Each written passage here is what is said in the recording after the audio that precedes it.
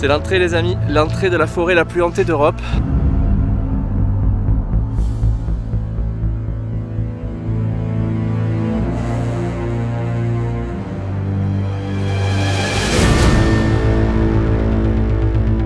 On dirait que l'arbre a saigné. Ah là c'est horrible. Qu'est-ce que je fous là les amis Oh là là là, c'est Extrêmement flippant quand même. J'entends des bruits de pas dehors, c'est incroyable. Est-ce que je suis mort? Cum este dupa muerte?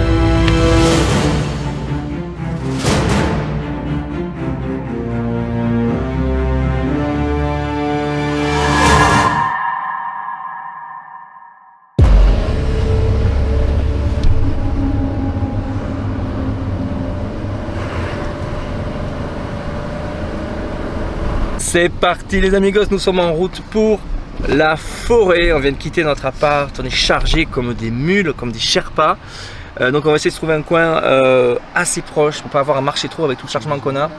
L'objectif c'est quand même de dormir sur place, de, de faire des expériences sur place durant la nuit. Donc on est un peu chargé, mais, euh, mais c'est trop cool. Et une grosse excitation, là les amis sont à fond, n'est-ce pas? Putain, c'est énorme. Excitation, excitation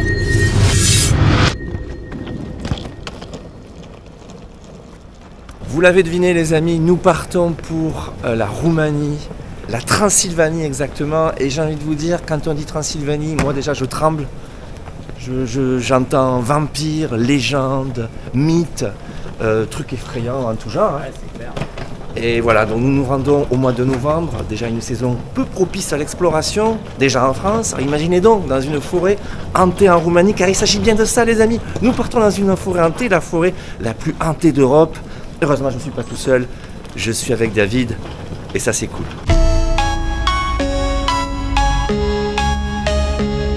On retrouve Alex, et après c'est parti, hein. vers l'inconnu j'ai envie de dire. Les amigos, ça y est, on est tous les trois, on est en partance pour la Roumanie, pour la Transylvanie. Vous le sentez comment les amis? Un peu stressé. On est un peu stressé. C'est normal. C'est parti, embarquement d'ici? Quelques minutes.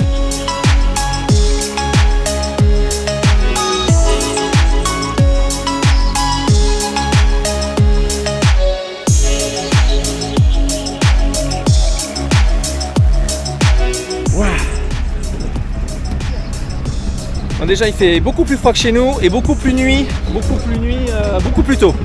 Il y a une heure de décalage. Génial les amis, premiers instants sur le sol roumain, incroyable.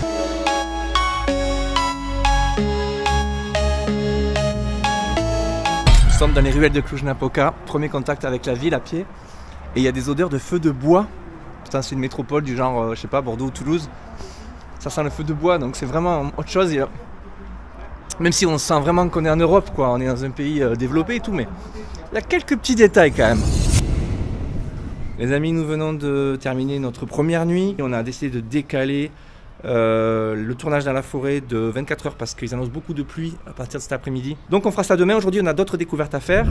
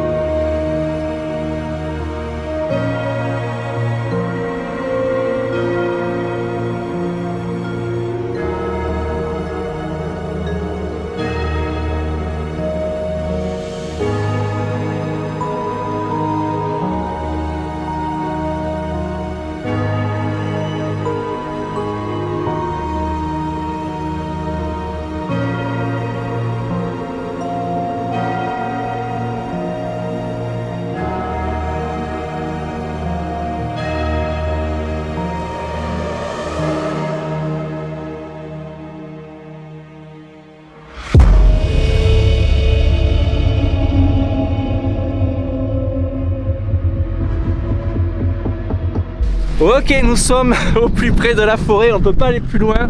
Il y a un peu de vent, désolé. Et on va essayer de finir à pied. La forêt est juste sur la crête là-haut. Il y a un bon petit quart d'heure de marche à mon avis. On y est les mecs. On est devant la forêt d'Oyabatsu, Batsu, je sais pas trop comment on dit. La forêt la plus hantée d'Europe en Transylvanie. Début de l'aventure dès maintenant.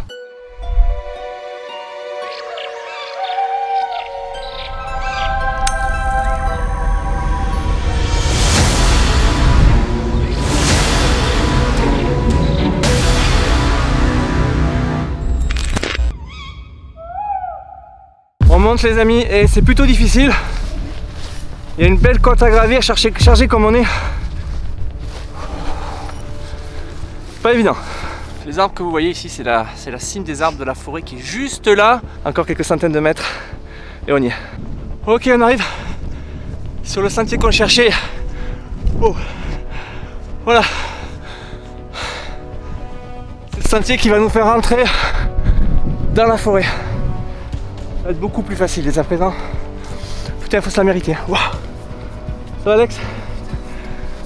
Tout dans le dur là.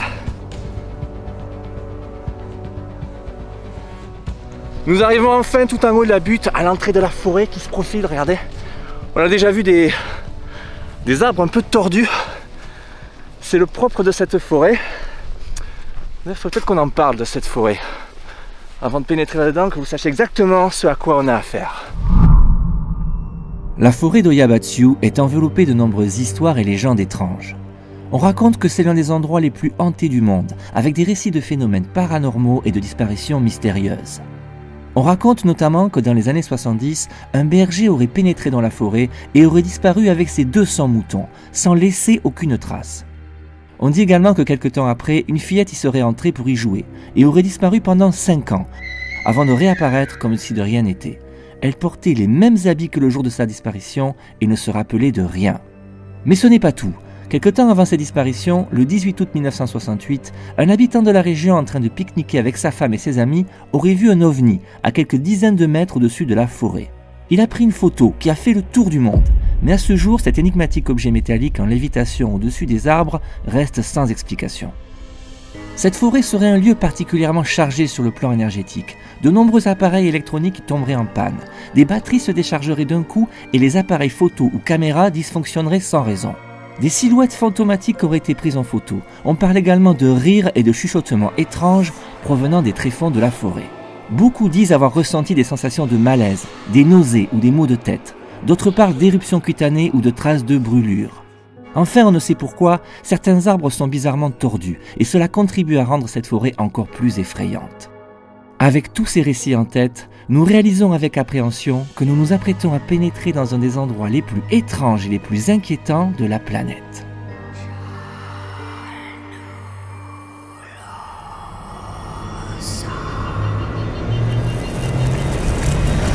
C'est l'entrée les amis, l'entrée de la forêt la plus hantée d'Europe, ni plus ni moins, avec une terre très noire qui a dû voir passer des millénaires, ah, des millénaires de, de légendes, de mythes.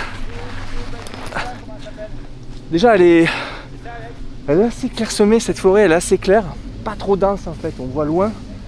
Alors c'est l'automne déjà bien avancé en Roumanie. Euh, je m'attendais à plus de feuillage, c'est assez, voilà, ça s'est dégagé pas mal.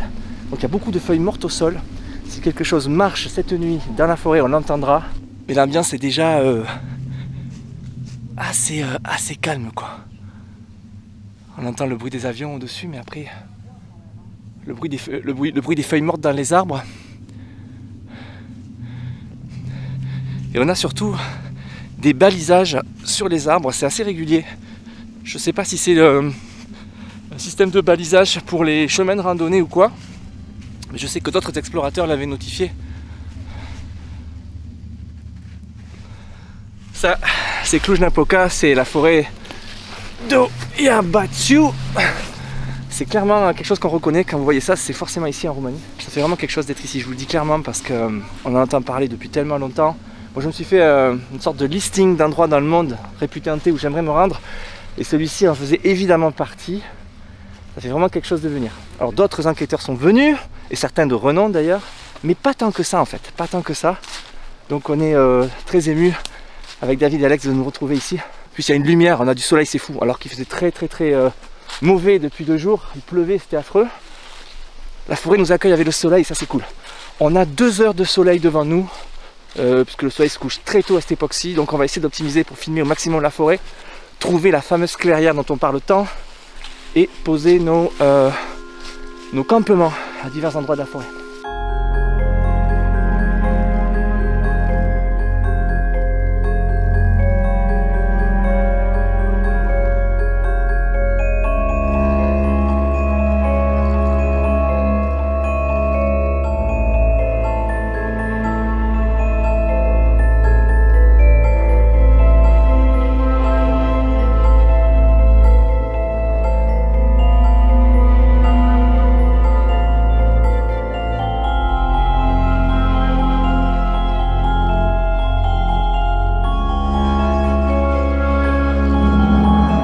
Alex est passé devant, on l'a entendu crier, je pense qu'il a trouvé la fameuse clairière.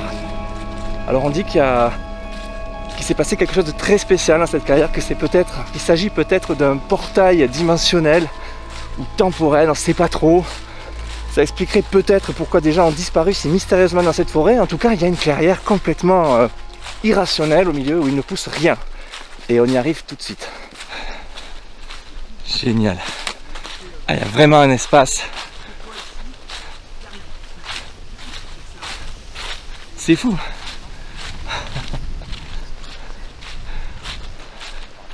On l'a trouvé la clairière Incroyable, on dirait pas un, un crop circle Si, si, si, un crop circle permanent en fait. Un crop circle permanent. T'as vu tous les foyers qu'il y a Ouais, et des gens qui ont fait des feux euh, un peu partout là. Ça vous dit du coup peut-être de bah, à la limite, mettre la tente là, au moins on a tous les points pour faire nos expériences Moi je vais m'enfoncer dans la forêt un peu avec ma tente. Ouais, ok. Et euh, je vais mettre un peu plus loin, mais après Alex, tu peux te mettre sur la clairière. Ah l'idée c'était tous les trois, mais ouais, faut mettre là-bas.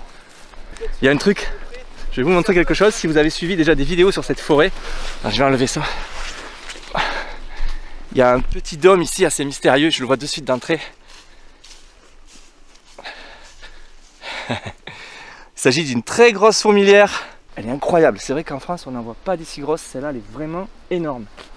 Alors, est-ce que ça nous annonce quelque chose de particulier Je sais pas. C'est fou, c'est incroyable. Il y a vraiment quelque chose qui. Une ambiance très particulière ici. Je comprends que les gens soient assez euh, fascinés par l'endroit parce que. En plus, la saison, c'est l'automne. Y a les arbres s'éclaircissent. On a ce tapis de feuilles mortes partout avec des couleurs. J'adore, c'est magnifique, les amis.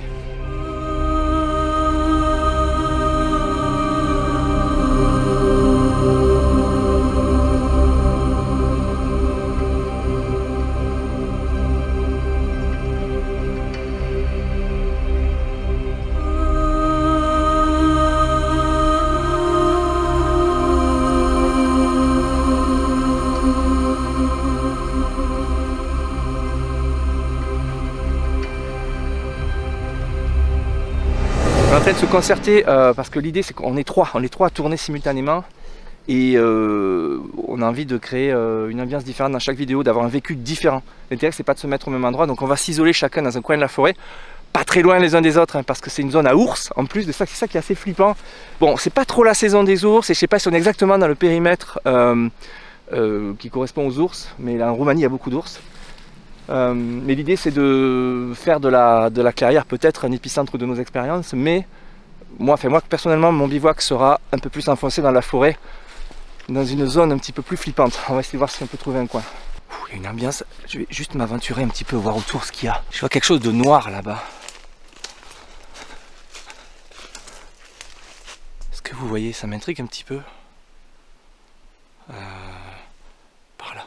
Alors c'est une forêt qui n'est pas complètement sauvage, il y a des gens qui s'y promènent bien sûr. Il y a sûrement des bûcherons qui viennent aussi. Donc c'est pas une forêt complètement désertée et isolée. Surtout que la ville est à juste une dizaine de kilomètres. Enfin, je vais vérifier ce que c'est, ça m'intrigue. Une vieille souche, peut-être un vieil arbre. Non, ce sont des, des grosses mottes de terre retournées en fait. Il y avoir des tracteurs qui sillonnent la forêt de temps en temps. Ok. Oh, mais regardez-moi cette terre comme elle est noire. On est dans une forêt hantée en Roumanie. J'ai du mal à. À réaliser en fait. La plupart des arbres, ce sont des, chênes, j'ai l'impression. Ouais, ce sont des chênes. Feuilles de chêne. Une variété un peu similaire aux nôtres en France. Du coup, je sais pas trop où je vais mettre ma tente, moi. Je vais essayer peut-être me mettre de ce côté. Mais là, ça va, on est deux jours, mais je suis sûr que cette nuit, ça va être terrifiant.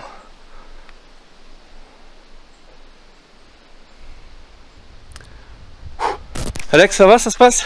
Ça va, c'est en fait la tente elle est trop bien, elle se monte rapidement et tu sais que vous ne sentez pas bien du tout. Et au final, on arrive là, on a l'impression tu sais, que c'est. euh, euh, euh, comment expliquer Tu sais, pas la cerise sur le gâteau, la récompense. Et du coup, on Ouais. se sent super bien excité. Ah, mais c'est clair, j'adore, l'ambiance Alors est là-bas, folle. Vite fait, fais attention parce que tu as vu où il y a les citrouilles là? Ouais, j'ai vu, je vais aller voir, tu m'as Eh dit qu'il y avait ben, un truc. En dessous, ça fait peur quand même ce qu'il y a. Alors tu me dis, alors je te dis pas ce que c'est, tu me dis si à ton sens c'est pareil que ce que je pense moi. Ok, je, vais voir. C'est là, apparemment il y a des citrouilles. Alors Halloween était vraiment. Il y a seulement euh, 15 jours. Les gens font beaucoup de performances liées à l'étrange, au paranormal et. Alors qu'est-ce qu'ils ont pu faire le soir d'Halloween Je sais pas. Ok, il y a donc deux citrouilles. Euh, qu'est-ce qu'il a vu d'aussi effrayant, Alex?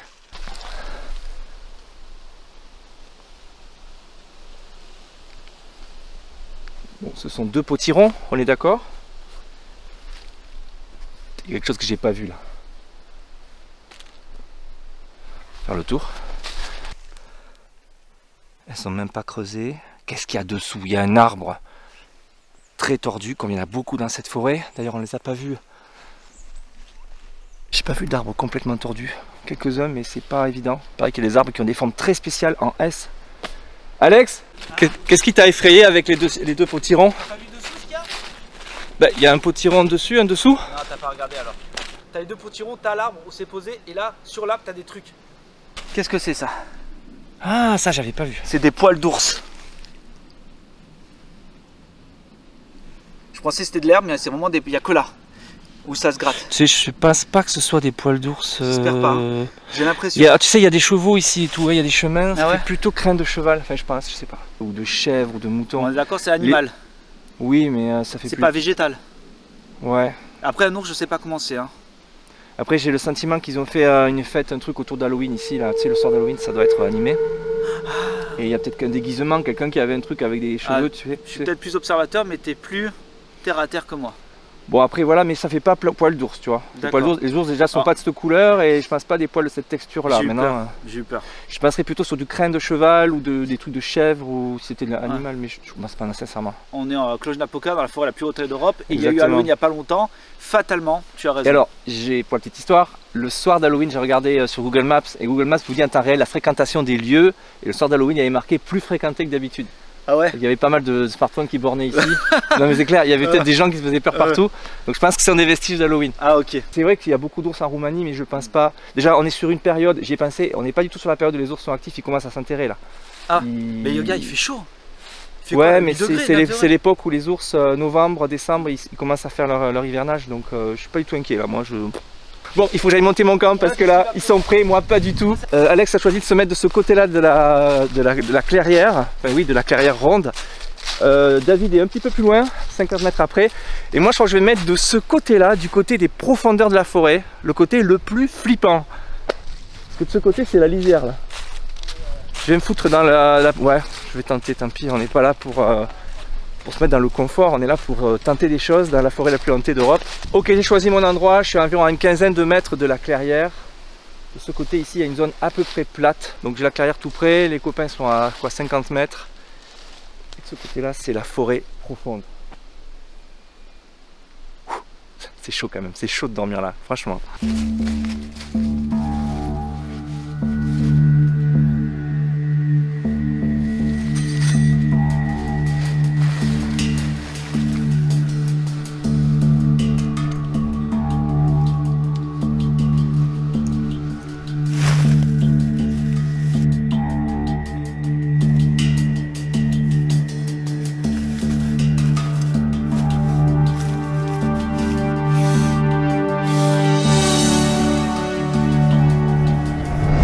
Les amis, ça y est, je viens de terminer d'installer ma tente. Je vais vous montrer un petit peu le confort euh, pour dormir dans une forêt hantée en Roumanie. On est quand même parvenu à s'amener l'essentiel.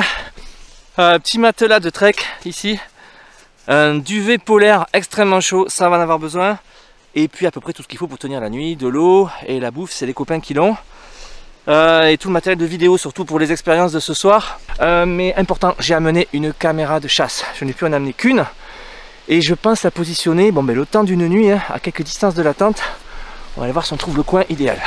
Le truc c'est qu'il nous reste une heure de soleil environ. Et après la nuit va tomber dans la forêt, ça va devenir beaucoup plus compliqué d'installer et de préparer.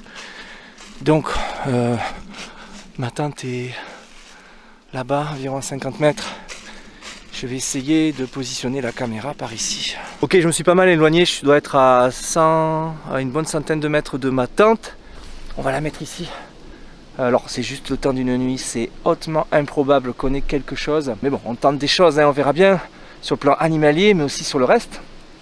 La forêt la plus hantée d'Europe euh, recèle peut-être la nuit des tas de choses étranges, peut-être des esprits en déplacement, qui sait. Déposer une caméra de chasse au milieu de la forêt la plus hantée de Roumanie, je vous avoue que ça restera un truc assez mémorable. Euh, je vais faire un petit stratagème pour la retrouver. Je vais faire des, des grands tirés comme ça dans le sol. Hop, jusqu'à ma tente. Parce que regardez-moi le, le décor autour, c'est très difficile de se repérer. Voilà, au bout de ce chemin tracé là, dans les feuilles, ben, il y a ma caméra de chasse. Je passe 100 mètres par là-bas. Le jour commence un petit peu à tomber là. Il fait frais, il fait pas froid, il fait frais. Je, suis très excité d'être ici, je réalise pas en fait. Parce qu'on se croirait dans une forêt française, les, les arbres sont à peu près similaires, on a un peu les mêmes essences. Une chose dont je ne vous ai pas encore parlé, c'est euh, les problèmes magnétiques au niveau de cette forêt. On parle de peut-être une porte, euh, un portail euh, dimensionnel ou temporel du côté de la clairière, mais c'est à se demander si c'est pas vraiment quelque chose parce que, paraît-il, le magnétisme est très perturbé au-dessus de cette forêt. Et d'ailleurs, je peux en témoigner tout à l'heure puisque mon drone a été complètement perdu à un moment donné. Je l'ai fait partir de l'extérieur de la forêt et arrivé au-dessus de la clairière, j'ai perdu le contact. Alors, j'étais pas du tout loin et euh, ça me le fait assez rarement. Et euh, il paraît que les batteries se déchargent assez vite aussi. Heureusement, on a pris beaucoup de batteries de rechange. Donc, on verra si tout cela se vérifie, les amis. Bon, pour le moment, ma montre connectée indique bien le nord dans cette direction. A priori, pas de perturbation magnétique à ce stade. On checkera à plusieurs reprises dans la soirée. J'espère que mes amis sont toujours là, qu'ils n'ont pas disparu. Je les entends plus. Il ne faudrait pas que la forêt les ait avalés comme beaucoup d'autres personnes, d'après ce que disent les légendes. Un vététiste qui traverse, qui traverse l'air de la, la clairière. C'est surprenant, on est en train de vivre un truc euh, absolument horrifique et lui il est là, tranquille. Qu'est-ce qui se passe Apparemment j'ai loupé un truc? Ah oui, j'étais en train de monter la tente. Et là, j'étais en train d'installer mes trucs. Et tout d'un coup, il y a un truc qui attire mon regard. Et là, je ramasse. Et qu'est-ce que je trouve? Une balise. Non. Et alors? Et tu Et scannes on, tu scannes, on se connecte. Bienvenue sur le Raya Forest. En fait, c'est un Discord de des événements que tu vis. Mais non Je te jure, C'est pas C'est génial c'est génial. C'est trop cool C'est trop cool. Donc moi, je télécharge le Discord et je, je mettrai mon expérience dessus, etc. Et si tu l'as, Discord, tu scannes le truc et il t'emmène directement sur le site. Incroyable Et tu peux raconter euh, tout ce que tu as On vécu. espère va que pouvoir tu as mettre- apporté de la pizza. On va pouvoir mettre un lien aux aventures de ce soir. Mais c'est clair, c'est clair. Eh, ce lieu est fou, Eh, ils ont vraiment conscience les Roumains qu'il y a... Je pense qu'on n'est pas les seuls à traverser la planète pour venir là quoi. En tout cas, le terrier de David est pas mal du tout aussi. Il ressemble beaucoup au mien. Et celui d'Alex est là-bas, mais vous l'avez vu tout à l'heure. Là. Et ce qui est vraiment cool, c'est qu'on quadrille la, la clairière. On est sur, les, Sur trois- trois côtés. Bon, ce qui est cool dans cette clairière, c'est qu'il y a euh, un foyer au milieu naturel où tout le monde a l'air de faire du feu. C'est vraiment le- la tradition, j'ai l'impression. Et il y a déjà un tas de bois. Le problème, c'est qu'il a beaucoup plu euh, ces, dernières, ces derniers jours. Et c'est très humide, donc on va essayer de trier, trouver du bois sec. Mais c'est pas garanti qu'on ait un feu exceptionnel. hein. Il va falloir euh, s'armer de patience et d'optimisme là, parce que c'est vraiment humide. hein. Bon, les deux potes m'ont dit que c'était les meilleures gaufrettes qu'ils ont jamais mangées. Euh, des gaufrettes euh, roumaines apparemment. Ah non, Germania, c'est allemand. Bon. Je vous avoue que là, il y a un petit creux qui se fait sentir. Venez les amis.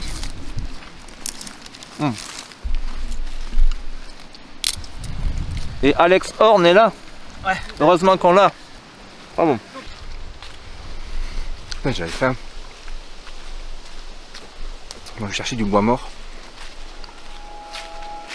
C'est incroyable d'être ici, c'est vraiment incroyable.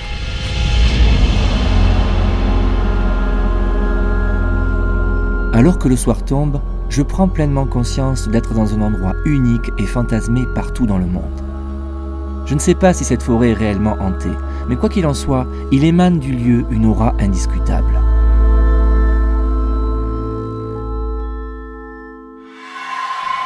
Voilà, comme ça. Bon, on essaie de démarrer le feu pour se donner un peu de chaleur. Parce que le feu, c'est la lumière, c'est la chaleur, c'est la vie. Le problème, c'est que c'est très humide et il a plu beaucoup ces derniers jours. Et là, c'est compliqué. On va quand même essayer de se faire un petit truc. Sinon, on a des solutions pour euh, se faire chauffer nos plats euh, si on n'a pas de feu. Il va nous falloir du bois, les gars. Grâce à David Horn, nous avons un feu. Les amis, nous avons un feu. La tête déprimée de David parce que? Parce qu'on a perdu le feu. c'est très compliqué. Bon, je pense qu'on va se passer du feu, on va faire autrement. hein. On a des petites bougies chauffe-plat pour se faire à manger. On va faire ça. Là, on- ça fait quoi Trois quarts d'heure qu'on y est et on n'arrive à rien.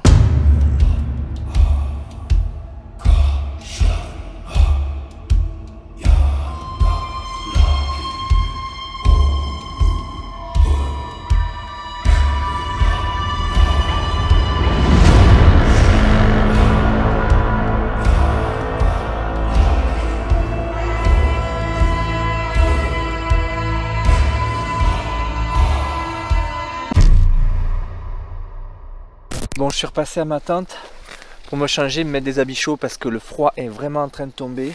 En plus, on n'a pas pu faire de feu. Donc, euh, on va se faire chauffer nos plats un petit peu comme on peut.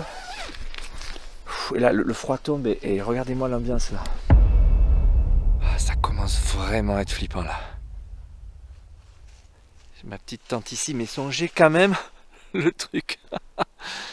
oh là là là là, j'aurais jamais cru dormir dans un endroit pareil. Donc l'idée c'est de se faire chauffer sans feu, ce qui va être un, un défi quand même. Heureusement on a prévu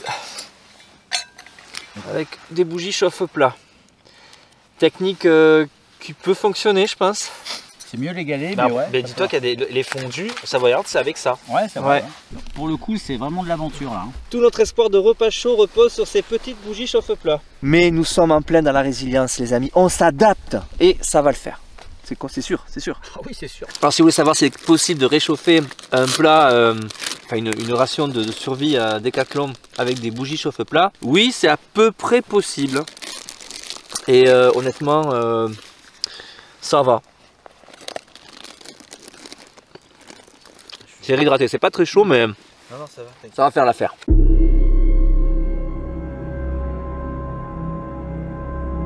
Malgré l'absence de feu, ce moment de partage a été réparateur. Mais pendant ce temps-là, une épaisse chape d'obscurité et de froid est tombée sur la forêt. Le repas terminé, nous décidons enfin de nous séparer pour mener nos expériences.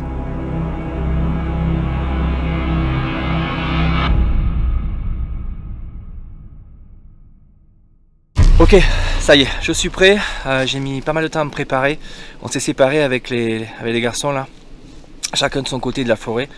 Et moi, je vous avoue que bon, je pars de ma tente et j'essaie de me diriger vers le côté le plus profond, en fait, vers la profondeur de la forêt, parce que de l'autre côté, vers là où ils sont, c'est la lisière. Moi, je pars euh, ben, un peu volontairement vers le, les profondeurs. Euh, on va allumer le K2. Voilà, il est ici. Voilà. Alors, si jamais il sonne, ben vous l'entendrez. À défaut de le voir, on va faire ça à la torche. Là, l'ambiance a complètement changé. Excusez-moi. Ça a complètement changé, c'est fou. Alors, j'ai déposé ma caméra de chasse de ce côté là-bas. On va essayer de s'immerger dans l'ambiance de cette forêt réputée hantée. Il m'est arrivé de me balader dans des sous-bois complètement anodin. Et déjà, on a un peu la trouille. Alors, une forêt dont on parle autant comme un lieu hanté, euh, sa réputation a fait le tour du monde. On y a vu des ovnis, des gens ont disparu. Il y a eu des récits vraiment effrayants. Alors, y a-t-il quelqu'un avec moi? Alors, je vais parler en français et on tentera une expérience tout à l'heure en roumain chez un traducteur. On va essayer de, de voir ce qui se passe déjà à ce stade, d'écouter.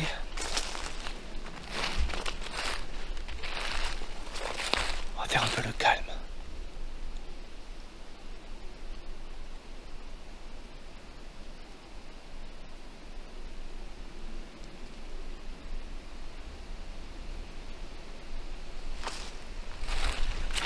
Il y a un tapis de feuilles mortes assez épais.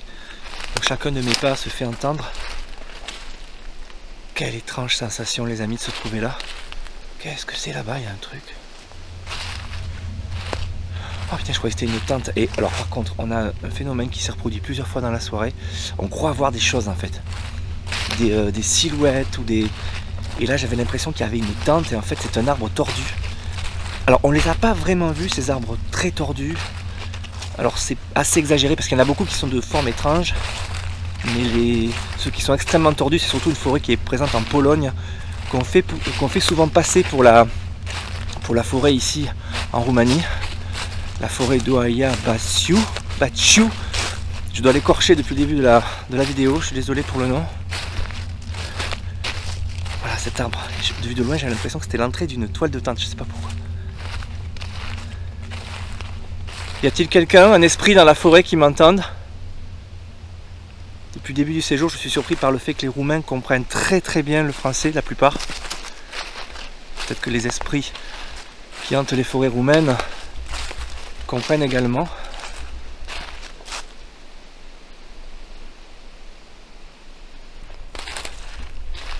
Ah, c'est vraiment quelque chose d'être ici, les amis. Je suis pas tout seul, vous êtes avec moi. Alors David s'est réservé un côté, Alex euh, fait une expérience je crois dans la clairière. Vous pouvez regarder sa vidéo, je vous invite à regarder leur vidéo d'ailleurs pour voir ce qu'ils auront tenté de leur côté.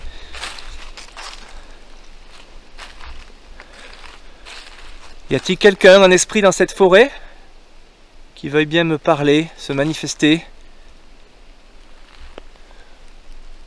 On dit que cette forêt est tentée. Est-ce vrai?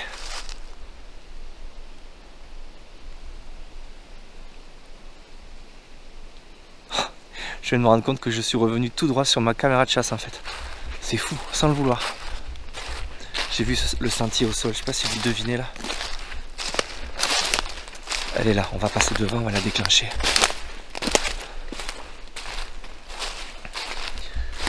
Alors j'ai mis des miettes il y a un petit quart d'heure de ça. Je ne vois plus. Ok, on va déclencher là. Ça y est, il a déclenché. Vous voyez ses yeux. Bon, on aura au moins mon déclenchement. Espérons qu'il y en aura d'autres dans la nuit. On va aller plus loin, je vais explorer au-delà de là où je suis allé finalement. plus loin. Il y a un endroit qui m'appelle, je sais pas pourquoi. Regardez la forme des arbres. C'est clair qu'il y a quelque chose. Hein. Alors il y a ici ou là des balisages. Ce sont des. C'est une forêt où il y a des chemins de randonnée de VTT, donc évidemment elle est. C'est un peu bizarre de dire ça, hein, mais c'est une forêt presque urbaine, quoi, assez proche de la ville. Incroyable ces arbres quand même. On dirait d'ailleurs un même arbre qui s'est. Euh, je sais pas, qui a fait plusieurs pousses.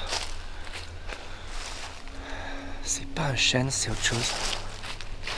Alors, je vais vous dire mon ressenti à ce stade. Je suis très détendu. On a parlé avec les gars tout à l'heure. On a beaucoup appréhendé cette nuit dans la forêt ici. Et en fait, je me sens extrêmement relax.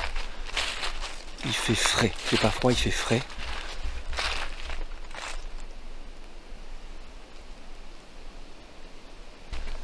Qu'est-ce que c'est ça ici par contre? Ça c'est bizarre. Regardez, j'ai baissé la luminosité. On dirait que l'arbre a saigné. C'est vraiment bizarre.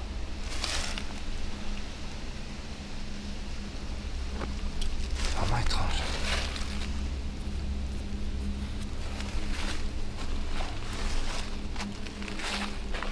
On dirait des dents de vampire. Alors on est également en Transylvanie, dans une forêt en Transylvanie, ce qui est incroyable. Veut dire tout ce que véhicule ce terme, Transylvanie. Ça fait aller l'imaginaire assez loin dans les Carpates. On voit chauve-souris, vieux château hanté perché au sommet d'une montagne lugubre et des forêts comme celle-ci. Et là, je t'avoue que j'arrive à un endroit qui fait vraiment penser à la Transylvanie. Ah, j'adore, incroyable. Regardez-moi cette ambiance. Oseriez-vous venir seul comme ça dans cette forêt réputée hantée, les amis? Je le fais pour vous, hein. franchement, je, donne de ma, de ma personne. hein. Mais j'adore en fait, c'est incroyable. C'est un vrai kiff. Là, je suis assis sur des, des strates de, de- croyances en fait, de, de on-dit, de, de mythes, de légendes. Ça m'a projeté jusqu'ici. C'est juste une forêt. Elle est imprégnée de croyances. C'est fou. Elle porte en elle des générations de gens qui ont véhiculé, raconté des légendes à son sujet. Et déjà, c'est énorme d'être ici, de marcher entre ces arbres. Regardez-moi celui-là.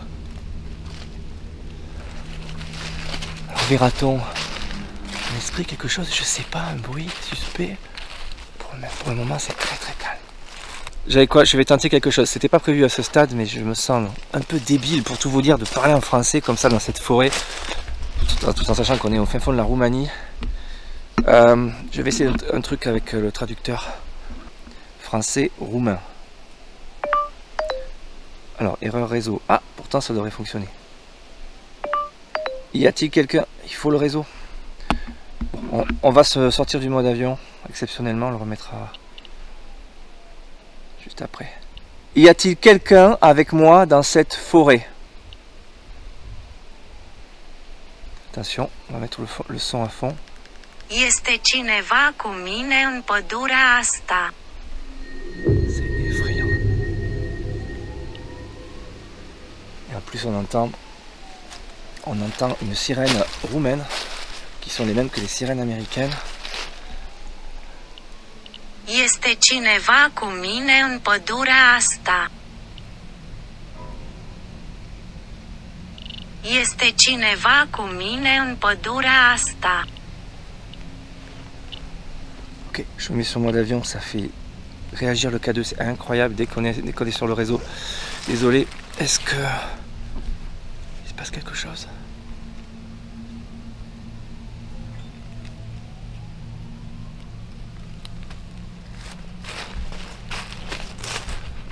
Je suis tout seul dans les bois et j'espère rencontrer quelqu'un ou quelque chose qui veuille bien me parler, me raconter l'histoire de cette forêt.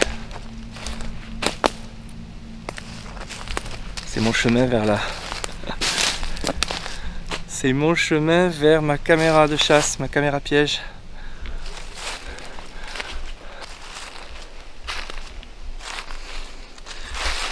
Je vais poser ça ici. Je vais m'installer sur la sur la souche là-bas.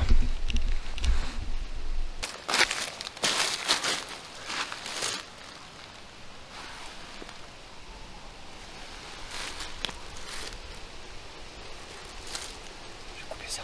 Je sais pas si vous me voyez bien du coup. Ça y est. Este cineva cu mine în pădurea asta. Răspuns. Este cineva cu mine in padurea asta? Răspuns. C'est effrayant. Avec l'écho dans la forêt, ah, j'ai l'impression d'être un sorcier euh, dans les Carpates en Transylvanie. Este cineva cu mine in padurea asta? Răspuns.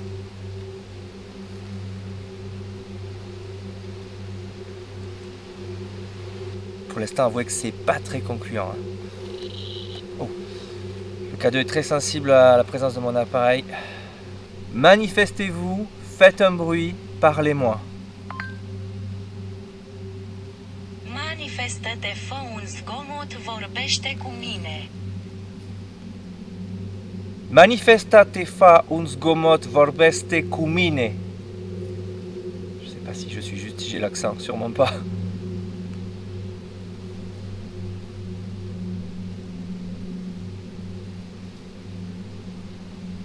Les légendes sont-elles vraies? Cette forêt est-elle hantée? Répondez s'il vous plaît.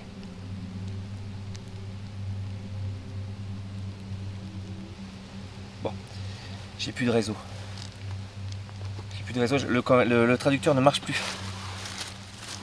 Euh, ce qu'on va faire, on va. Revenir tranquillement vers la tente et tenter autre chose. Ça fait déjà un moment qu'on déambule. Ouais. Presque une demi-heure qu'on déambule et qu'on n'a pas beaucoup de résultats. Euh, je vais revenir vers la tente et on va passer au plan B.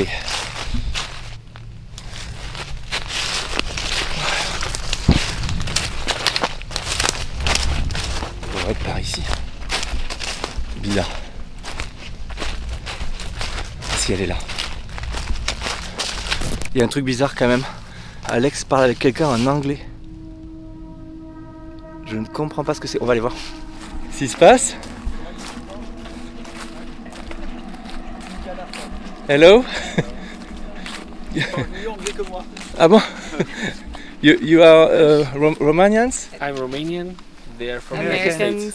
American people? Okay, we are French. Oui, on a, on a déjà Ok. échangé. Merci. hein. So uh, you know better English? Yes, uh, yes. uh, Okay, because we are going uh, to be around here for a couple of minutes. We go around. I want to show them some weird growing trees that Okay. are one is there and one is there. If you want to see them as well. you will be around uh, Okay. us? Okay, Yes. And then, uh, but just for like 10 minutes around here, Okay. and, then, and then we go. no So problem, no problem. You. If we disturb you, just let us know. Oh, no problem. Okay. Be careful with ghosts. you, you too. you too. Okay. I have some, pictures. Thank you very much. Ok, c'est c'est un ghost, c'est un ghost tour. C'était prévisible qu'on se retrouve avec euh, des gens qui mènent des expériences. Ok, je vais mettre en place la fameuse expérience dont je vous ai parlé et on commence de suite. Et peut-être que les Américails passeront euh, tout près. Pourront peut-être nous aider, qui sait. Nous venons de vivre un étrange moment avec cette rencontre inattendue. La réputation de la forêt attire des visiteurs du monde entier, et ce genre de ghost tour est visiblement assez fréquent. Heureusement, ces visiteurs imprévus ne devraient pas s'attarder. Il est temps pour nous de reprendre nos expériences. Ok, nouvelle expérience. Euh, je viens de déployer dans la forêt un laser avec un miroir. Ok, et euh, c'est super étonnant. J'ai beaucoup de mal à filmer cette expérience à chaque fois. L'idée, évidemment, vous avez deviné, c'est de, de demander aux entités de se manifester au travers du laser. J'ai déjà fait ça dans un manoir, dans un cimetière, et c'est la première fois que je fais ça dans une forêt hantée. Donc on va voir ce qui va se passer. Euh, Manifestez-vous. Alors j'essaie de vous retranscrire l'expérience au mieux, mais c'est très difficile de filmer ce laser qui euh, tape sur un miroir là-bas à environ 15 mètres d'ici et qui après se diffuse à travers la forêt. Je vais quand même vous montrer l'expérience. Le problème c'est que dans un milieu clos, le laser diffuse sa lumière verte. Or là, on le voit de façon très imperceptible.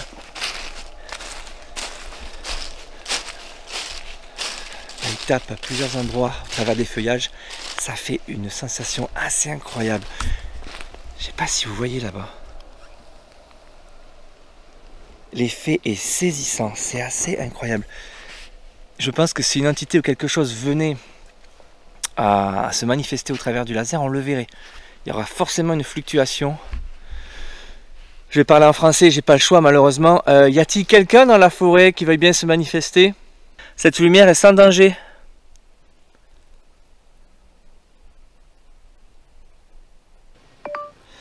Si quelqu'un m'entend, s'il y a quelqu'un dans la forêt, manifestez-vous en passant au travers de la lumière verte qui est sans danger.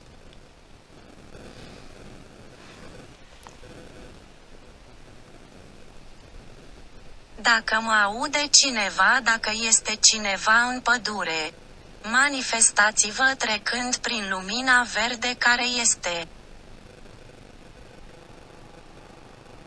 On voit quelques petites particules qui passent à travers le laser. C'est un peu ce qu'on retrouve à chaque, à chaque fois que j'ai fait cette expérience. Des micro-poussières poussières en suspension ou des gouttelettes hum- d'humidité. Il n'y a pas trop de brouillard ni de brume, mais Dacă mă aude cineva, dacă este cineva în pădure, manifestați-vă trecând prin lumina verde care este. Dacă mă aude cineva, da sa este cineva in padure. Manifestativa trecant prin lumina verde care este. Je dois avoir, je dois écorcher le roumain, désolé pour les, s'il y a des roumains qui me regardent.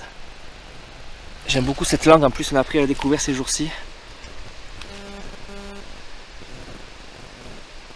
Hey, regardez, il se passe des choses là. On a pas mal de scintillements, beaucoup plus puissants que ce que j'avais jusque-là. Alors, faut dire que le vent se lève. Au moment où je pose ma question, on a un gros coup de vent là. Alors, on va demander, sait-on jamais, c'est peut-être ça? C'est peut-être une réponse? La forêt a peut-être son microclimat, qui sait? Est-ce vous qui vous manifestez avec le vent? Tu ești cel care te manifesti cu vântul. Il y a un gros coup de vent, les amis.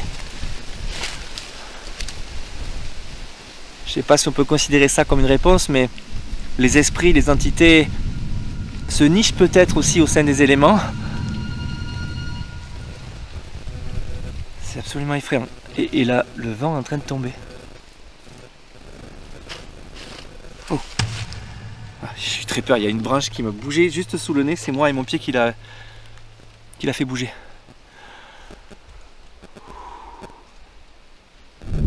Bon, je viens changer de plan les amis. J'ai décidé de me munir du laser et de le braquer devant la caméra. Et on va avancer dans les bois pour voir si quelque chose voudrait bien se manifester au travers de lui. Alors les flashs que vous voyez, c'est lorsque le laser rencontre de la végétation. Mais sait-on jamais, on peut peut-être avoir des surprises avec ce système.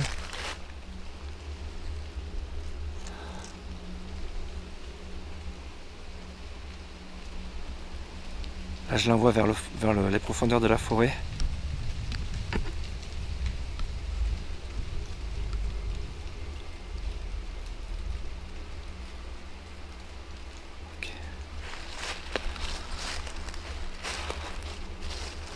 Manifestez-vous, passez dans la lumière verte. Si on voyait une énorme forme passer, imaginez quelque chose d'irréel, quoi, qui coupe le laser, ça serait fou. C'est incroyable ce vent qui s'est levé au moment où j'ai commencé l'expérience. À moins que ce soit les expériences d'Alex ou de David qui aient déclenché quelque chose.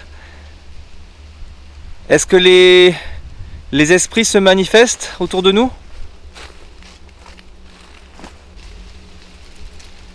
On a beaucoup de choses qui nous tombent autour là. Je coupe le laser.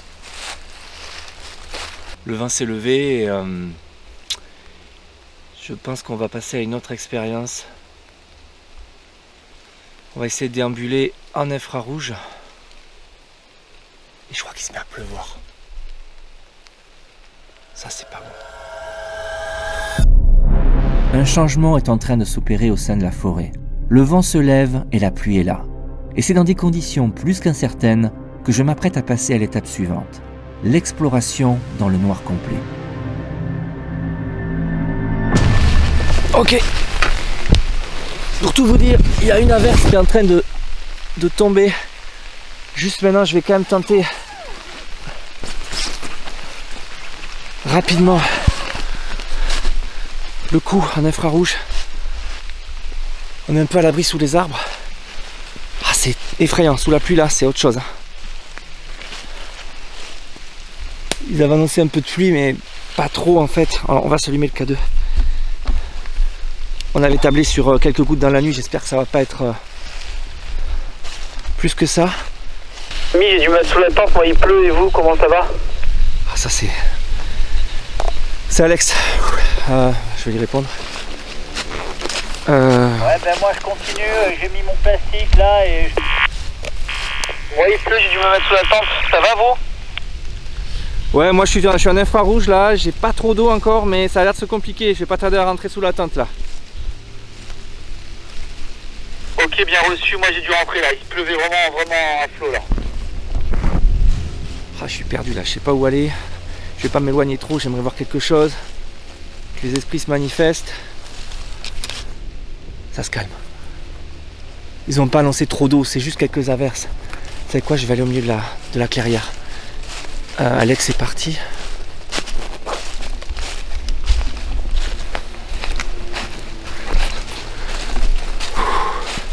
La clairière, on dit que c'est l'épicentre d'un- d'une sorte de portail, euh, peut-être un portail dimensionnel, c'est pour ça que rien ne pousse ici. Voilà, vous voyez autour de moi, il n'y a, a rien, il n'y a plus d'arbres. Vous Est-ce qu'il est le milieu de la clairière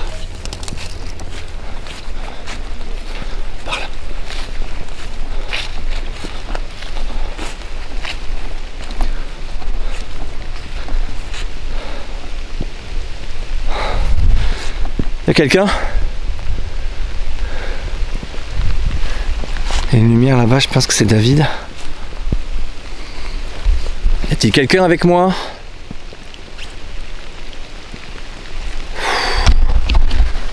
C'est une drôle d'expérience, les amis.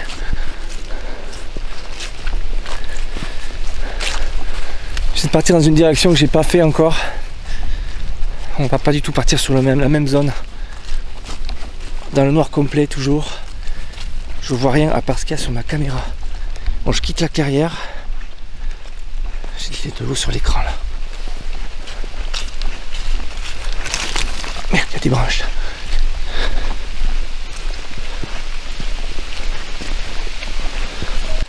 C'est très éprouvant, on est crevé. Et je me sens pas au top là en fait. Pas oppressé ni rien, c'est juste que. Je sais pas, je suis pas au top pour enquêter, je le sens. Je suis fatigué. Je sais pas où c'est. On entend des drôles de bruits par moment, comme des, des sirènes ou des sifflements, je pense que ça vient de la ville. On va faire un appel avec le traducteur. J'espère que c'est du réseau ici. Ça devait fonctionner sans réseau. Ah putain, il pleut beaucoup là. Or, il me faut du réseau. C'est étrange. Hein Pourquoi elle déconne cette appli? Oh là là, la flotte. Euh, y a-t-il quelqu'un avec moi dans cette forêt?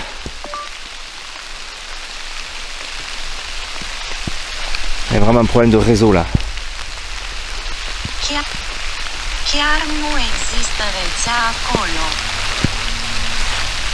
Chiar nu există rețea acolo. Chiar nu există rețea acolo. Manifestez-vous. Ah putain, là c'est compliqué. Manifestez-vous, faites un bruit, parlez-moi.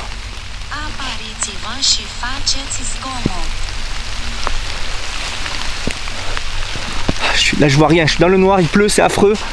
L'expérience commence à devenir désagréable les amis. Je crois que je vais rentrer sous la tente, là c'est plus possible. Y a-t-il des esprits dans cette forêt? Est-ce vrai? Există spirite în această pădure, este adevărat. Există spirite în această pădure, este adevărat. Ok les amis, là la pluie devient vraiment intense. Euh, je vais devoir rentrer. Je vais aller à la tente parce que je vais être trempé. On compte dormir ici. Et de toute façon on n'entend rien, il y a la pluie. Et, puis c'est pas possible de continuer comme ça quoi. Si je suis trempé je pourrais pas dormir. Ah prendre- Ah là c'est horrible. C'est compliqué. Qu'est-ce que je fous là les amis? J'ai envie de vous dire qu'est-ce que je fous là, c'est ma phrase euh, fétiche. Mais là clairement je crois que je me suis perdu en plus. Je me suis beaucoup trop éloigné du, de, la, de la clairière. Je vais quand même euh, filmer jusqu'au retour à ma tente. Ah là là, j'ai le chapeau trempé. Ça va toi? Pas de nouvelles?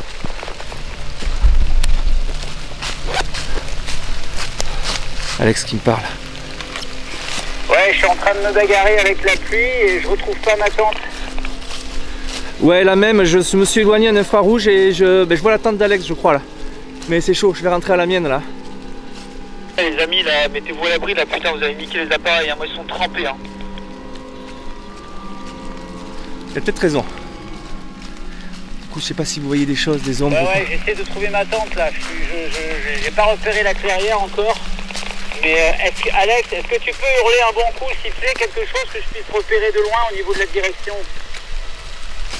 Je vois. David, je vois tes lumières, t'es vraiment pas loin.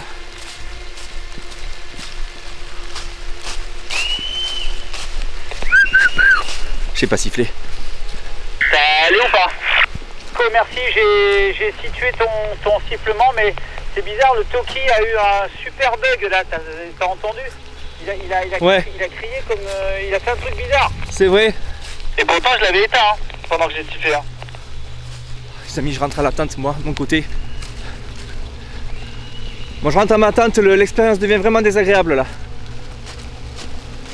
Ça y est, ma tente est là. C'est un nuage qui passe, c'est tout.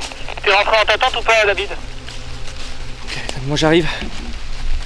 Ouais, c'est bon, je suis arrivé à ma tente là, je, je rentre. Ah putain. Super. Et toi aussi, Nico, c'est bon? Je suis en train d'y pénétrer. Bon, les amis, euh, c'est un repli, un repli forcé et obligé sous la tente. Euh, franchement, on est pas mal. C'est quand même génial une petite tente. J'ai espoir que ça s'arrête. Euh, ils n'avaient pas annoncé une pluie incroyable cette nuit, donc c'est sûrement un nuage. Mais ça nous a tous coupé dans notre élan là. J'ai bien cru que je m'étais perdu là en infrarouge, c'était vraiment loin de l'autre côté de la forêt. Il me restait un ou deux trucs à tenter. J'espère que l'eau va s'arrêter, que la pluie va s'arrêter pour qu'on puisse le faire. Mais songez quand même qu'à l'heure où je vous parle, je suis sous tente, au milieu de la forêt la plus hantée d'Europe. C'est Blair Witch, clairement. Par contre, au niveau des bruits, là, il pourrait se passer n'importe quoi euh, autour de la tente, j'entendrai rien avec la pluie. Donc, euh, la pluie, c'est affreux. Quand on est sous tente, c'est vraiment pas cool. Ok, on va attendre que ça s'arrête et puis on va bien voir quoi.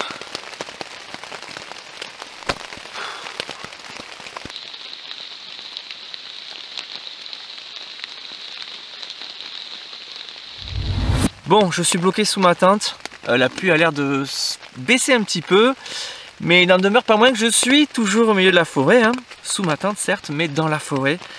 J'ai envie de tenter une expérience. Euh, je suis très loin de chez moi. Été limité en poids, donc j'ai pas pu amener le Spirit Voice. Euh, j'ai donc amené, ben, vous voyez ici, deuxième caméra, euh, une application sur mon téléphone qui remplace le Spirit Voice. Je l'ai paramétré en roumain. Je t'aime bien. Ah, Imi Placi, je t'aime bien. Oui, ça commence déjà. Euh, cette application, c'est exactement le même principe que le Spirit Voice. Et le fait que ce soit sur un smartphone, c'est peut-être encore plus tiré par les cheveux que Spirit Voice. Mais j'ai envie de tester tout de même. Pour que ce soit cohérent, on va parler en roumain. On va poser des questions en roumain et voir si euh, cette application me répond. Alors, juste euh, rapidement, pour ceux qui ne connaissent pas le Spirit Voice, euh, c'est un appareil qui convertit les ondes électromagnétiques et on dit que les entités, les fantômes, euh, génèrent des ondes électromagnétiques et cet appareil a la capacité de convertir ces ondes en mots. Théoriquement, ça voudrait dire que l'appareil nous, euh, nous donne les mots voulus par les entités, c'est-à-dire traduit la volonté des entités de nous parler. J'espère que je suis clair. Cette application a un peu la même fonctionnalité. On va tout Pouvez-vous m'entendre? Ça a déjà commencé. Vous voyez, j'ai- à peine ouvert le. Oui, attendez, on va répondre. On va répondre. On va répondre en roumain. Ça me parle déjà, c'est fou. Oui, je vous entends.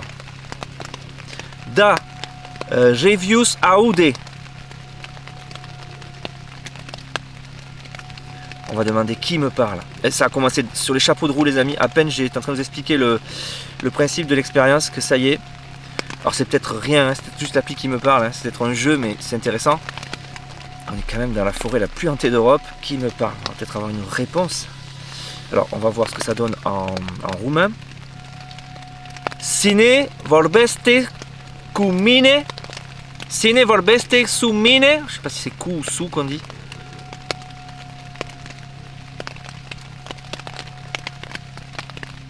Sine vorbeste cu mine. Qui me parle C'est absolument effrayant quand on a des mots. Idiot. Idiot. Prost, idiot. Ok. C'est sympa. Alors, on va partir du principe qu'on est en relation avec une entité, un esprit. Euh, il est assez euh, corrosif quand même. Pourquoi me traitez-vous d'idiot On va lui demander. Je ne sais pas si c'est un esprit de la forêt, peut-être l'esprit d'un vampire décédé jadis dans la forêt, puisque nous sommes quand même en Transylvanie. Venir me chercher. Venir me chercher. Ok. L'esprit me demande de venir le chercher. Je trouve cette appli terrifiante. C'est même, pire que le, que le Spirit Voice parce que c'est des phrases plutôt que des mots. Je vous rappelle de prendre tout ça avec beaucoup de recul, les amis. C'est juste une, une appli. hein. Mais c'est effrayant et. Il y a une petite part de mon esprit qui me dit qu'il pourrait y avoir des. que les esprits pourraient éventuellement pénétrer. Merci. Merci. Pourquoi ça me dit merci? Je sais pas. Je vous disais, il y a une, part de mon esprit qui me dit que peut-être que les esprits pourraient rentrer dans l'électronique et provoquer quelque chose, je sais pas. Ça, c'est du domaine de, l'irrationnel, bien sûr, hein, on y est complètement, mais voilà, une toute petite partie de moi qui le pense. peut-être comme vous d'ailleurs, j'imagine. Pourquoi me dites-vous merci en roumain? Je ne connais pas le roumain, je vous l'ai déjà dit, je sais, mais c'est horrible pour, pour discuter. Desespui multimesc Desespui multimesc Tout ça l'intonation, interrogation. Pourquoi me dites-vous merci? Desespui multimesc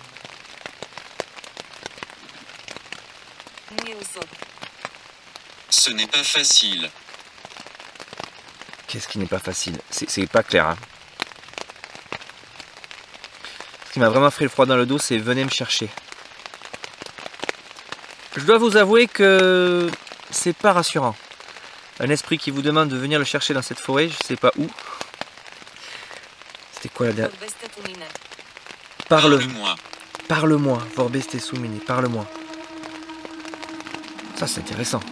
C'est un peu décousu quand même, je sais pas, je suis pas très convaincu. Si, si. Si, si, parle-moi, si, si. Oui, oui, j'arrive, je... mais il faut que je traduise. Qui êtes-vous? Qui êtes-vous? Qui Venez. Venez ici. Je peux pas sortir de la tente. Il pleut trop là.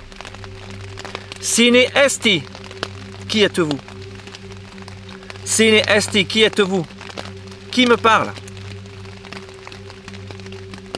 Un esprit Un fantôme? On sait pas ce qui rôde dans cette forêt, clairement. C'est la forêt hantée, mais par quoi? C'est pas très clair. Des gens ont disparu ici, il se passait plein de choses étranges, mais ah, il y a eu beaucoup de guerres hein, en Roumanie, en Transylvanie, ça a été le théâtre de massacres terribles. Je sais pas. J'ai la sensation qu'on m'a demandé de sortir de la tente et d'aller le, chercher, d'aller chercher l'esprit ou de le retrouver dehors. Il y a eu plusieurs phrases comme ça. C'est mes interprétations, les amis. Ne prenez pas tout ça au pied de la lettre, mais c'est. Êtes en train de jouer à parler avec des fantômes dans cette tente, dans la forêt la plus hantée euh, d'Europe et peut-être euh, une des plus hantées du monde. Sine esti Sine esti Ajutor. Acum multă timp. Aide, Aide. Il y a longtemps. aide, il y a longtemps. Aide, il y a longtemps, ok. Il y a longtemps, hein. assurément, s'il y a un esprit dans cette forêt, elle est très ancienne. C'est passionnant. Je sais pas vous, mais moi je kiffe, c'est génial, c'est un super moment. Euh, c'est comme faire une sorte de séance de Ouija électronique sous ma tente dans une forêt hantée. C'est trop trop bien. Pourquoi voulez-vous que je vous aide? Oh là là, j'écris mal. Suis. Je suis faible. Ah là, c'est super cohérent. Je suis faible. C'est apparemment quelqu'un ou quelque chose qui a besoin d'aide. Venez me retrouver. J'ai besoin d'aide, je suis faible. Oh, c'est incroyable. Euh, que vous est-il arrivé? Point d'interrogation. Ça fait quoi en roumain? C'est ça intemprat cu tine. C'est ça intemprat cu tine. Que vous est-il arrivé Répondez-moi. Pourquoi est-il ici Pourquoi est-il ici Ah, Ça, c'est une question qui m'est destinée à la troisième personne, mais on nous demande peut-être pourquoi est-ce qu'on est là. Ah, je suis... ah, C'est génial, j'adore. Il y a vraiment une interaction là. Euh, je suis venu vous rencontrer. Je suis venu vous rencontrer. C'est la meilleure réponse à donner. Je j'en vois pas d'autre, c'est- car c'est clairement ça. En ami. Je suis vous rencontrer un ami. Euh, Am venit să te cunosc ca prieten. Je sais pas si je prononce bien. Est-ce que je suis mort? Ce n'est qu'une machine, c'est qu'une application, mais à l'instant où j'ai entendu ça, les amis, j'ai un frisson qui vient de me parcourir les chines là. Est-ce que je suis mort? Euh, Je sais pas. Qu'est-ce que je réponds, les amis? On n'est pas en live là, vous auriez pu me dire. Ah, je vais mettre probablement. Probablement. Probabil. Probabil. Le roumain est une langue latine qui ressemble d'assez loin au français, l'italien, l'espagnol. Mais j'y comprends rien, quoi. C'est. Vous êtes probablement mort. Probabil esti mort. Probabil esti mort.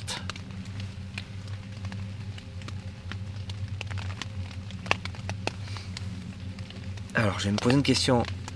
Comment est-ce après la mort? C'est une question euh, qu'on a envie tous de savoir. Cum este dupa muerte Cum este dupa muerte Répondez-moi, ça serait cool.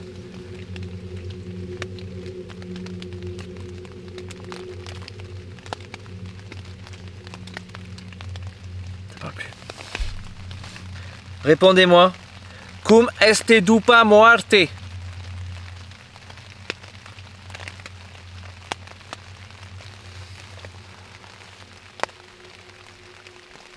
Je vais poser la question à mes, à mes potes. T'es prêt? Cum este dupa muerte On va voir s'ils répondent. Euh, Ou un esprit peut-être. Tu as parlé là, j'ai entendu parler en roumain. Et ça, ça a toussé à côté de moi. Cum este dupa muerte Ça veut dire quoi ça? Purgatoire. Non Alex, je suis en train de faire une expérience, je parle en roumain là. Mais, mais ça. Mais ça. Je te jure qu'à côté de moi, ça a toussé. À côté de ma tante, j'entends. j'entends vous vous branquez pas, hein Ah non Alex, là je suis en train de filmer, je suis à... Enfin, mes, mes caméras le filment, je suis sous ma tente. Ouais, non, non, t'inquiète, euh, je te prends pas non plus, hein, promis. Bah, ça, je vous jure, sur la vie de mes gosses, ça tousse à côté de ma tante depuis tout à l'heure. Ça tousse et ça. J'entends des. Ça parle. Je vous le jure qu'en plus, je le filme. Et l'appli qui me fait Jette frisson. un œil dehors pour voir. Je suis dehors là, je suis sous la pluie, hein. j'ai tellement peur, j'ai dit mon balèque. Hein. Il y a une appli là, genre GhostTube qui me dit frisson à l'instant là. Mais ah non, arrête. Si mais j'ai vraiment une discussion cohérente depuis tout à l'heure avec un esprit sur GhostTube, c'est incroyable. Je me souviens de vous. Je, suis sous la pluie, j'ai tellement peur. Je, te jure, je vous jure, c'est la vie de mes enfants, c'est pas pour la vidéo. J'entends vraiment parler à côté de moi, genre tousser ou quoi.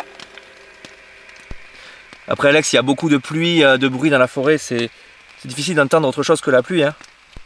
T'assures, je, je sais la faire la différence entre la pluie et, le, et une voix humaine. Hein. Ça fait un, un, un, comme s'il y avait quelqu'un.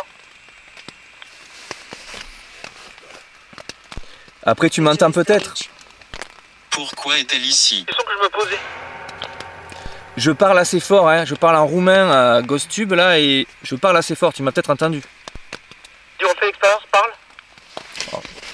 Euh, je vais redire, je ne vais pas le dire dans le talkie-walkie, hein, la phrase euh, que j'ai posée tout à l'heure, ok? Cum este dupa muerte Tu m'as entendu ou pas? Ouais, ouais, je t'ai entendu et j'entends, en fait, j'entends aussi David, j'ai l'impression.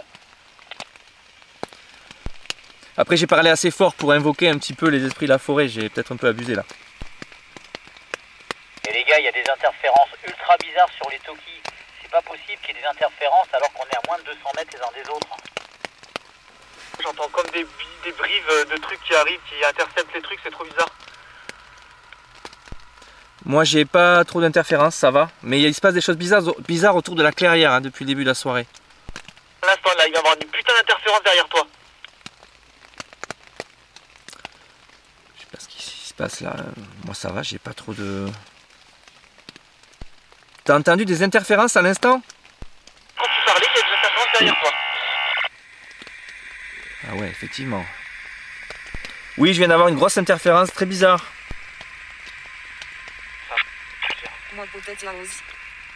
Pouvez-vous jamais entendu m'entendre? ce genre de son avec euh, mes Toki, quoi. Pouvez-vous m'entendre? Là que j'ai mis la spirit box, Attendez, il y a un truc qui me parle sur GhostTube là, attendez. euh, clairement, alors que mon truc, il est, il est brimé, en fait. Tu sais, tu peux pas écouter, en principe. Attendez, je vais répondre à l'entité là. Euh... Da, da. C'est n'importe quoi. Ça veut dire quoi, ça? Ça veut dire oui, il y a l'entité. Quelque chose qui vient de me demander sur GhostTube, pouvez-vous m'entendre? C'est peut-être les interférences, je sais pas. C'est une dinguerie, hein. Putain, j'ai envie de sortir, là, déambuler, là. Il se passe plein de choses bizarres, mais des petits trucs, mais pas. Enfin, c'est super chelou, je sais pas, je comprends pas. Vais sortir déambuler tant pis, j'y vais. Je, je sors. Je reste en attente, là, je- j'ai trop peur. Ok, tiens-nous au courant, mais tu nous as sûrement entendu. Après, moi, j'ai, moi, j'ai pas toussé. hein. Ouais, je, je vais. euh, je vais. euh, Toki, je, je- j'y vais, je vais dehors. Allez. Ok. Ah, avec toi, la petite alarme sonore. Ouais, ouais, elle est avec moi, ouais. Le plus intéressant est finalement arrivé là maintenant. Enfin, je trouve que c'est, c'est fou ce qui s'est passé avec la- la- l'appli. Euh, Alex qui a, qui a eu très très peur de quelque chose. Est-ce que c'est moi qui parlais? Je sais pas. Mais il y a l'appli qui me demande pouvez-vous m'entendre? Et on a eu des interférences assez cheloues dans le dans le talkie-walkie et on est très proche en fait. Ça devrait pas faire ça quoi. Grenier. Grenier.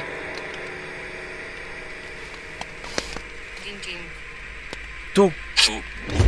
Mais non Eh, Il y, a, il y a un truc de dingue. Il y a pas. Grenier, tôt, n'y allez pas. Il y a une, quelque chose qui me parle sur GhostTube qui me dit grenier, tôt, n'y allez pas. C'est clair, les amis, ce matin, vous allez aller dans le grenier. Vous êtes OK? Mais oui, c'est fou, on allait dans le grenier ce matin, tout à fait, pour l'interview. Ce matin, euh, David et Alex sont allés dans le grenier de la maison qu'on loue à Cluj-Napoca et ils ont fait une interview. J'ai eu dans l'ordre, à l'instant, je vous jure, je filme tout, hein. je filme tout. Quelque chose m'a dit grenier, tôt, n'y allez pas. Ouais, bah c'est trop tard, hein, on y est resté euh, trois quarts d'heure au moins. On a dit tout à l'heure que Nico devait aller demain matin le voir. T'en souviens, là il dit grenier tôt, n'y allez pas. Oui.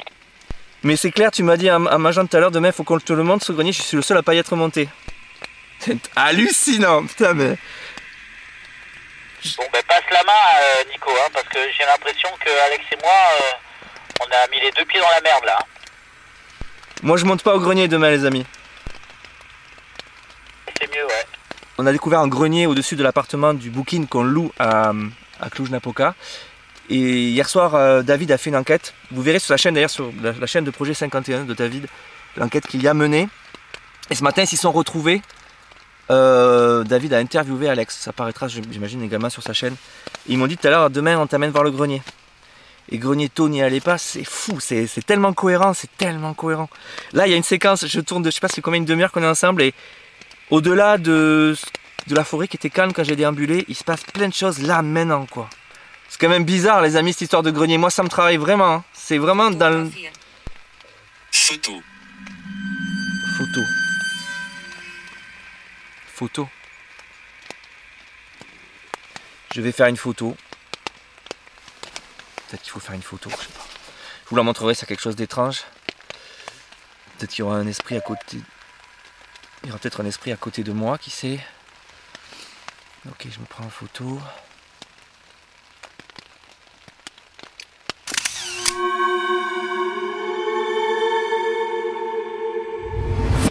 Je vais poser une dernière question en roumain. On va demander vous êtes encore là? Êtes-vous encore là? Mai esti să stau. Je veux rester. Ça me répond je veux rester, mais c'est un truc de barjo les amis, c'est un truc de fou quoi. Êtes-vous encore là? Ça me répond je veux rester. En roumain traduit bien sûr, vous avez entendu? Qu'est-ce qu'on fait maintenant là? Je sais pas. C'est bien que j'ai jamais vécu une expérience comme ça, je sais pas. Alors je me dis que c'est juste une application qui me raconte des, des- des saucisses, ça se trouve, c'est rien de. Mais je, sais pas, le contexte est fou, je suis dans une forêt hantée, réputée hantée, je fais une expérience un peu électronique avec des appareils qui sont censés me parler, ça me dit des choses cohérentes. Mais qui, ont du contexte en plus, les amis. Grenier, n'y allez pas, je dois aller demain matin dans un grenier. Je vous jure, mes amis peuvent l'attester, quoi. Et c'est clair, c'est fou, fou, fou. Est-ce que mon téléphone m'écoute, enregistre? Est-ce que l'appli enregistre ce que je dis dans la journée? Je sais pas, c'est c'est bizarre. Il faut rester rationnel, bien sûr, mais là. euh, Qu'est-ce qu'on fait maintenant? On va demander. Ça là, ça veut rester. Euh, C'est facem eu al meu C'est facem eu al meu Allez, répondez qu'on sache ce qu'on fait là, parce que je sais plus quoi faire moi là. Vous attendez quoi de moi quoi?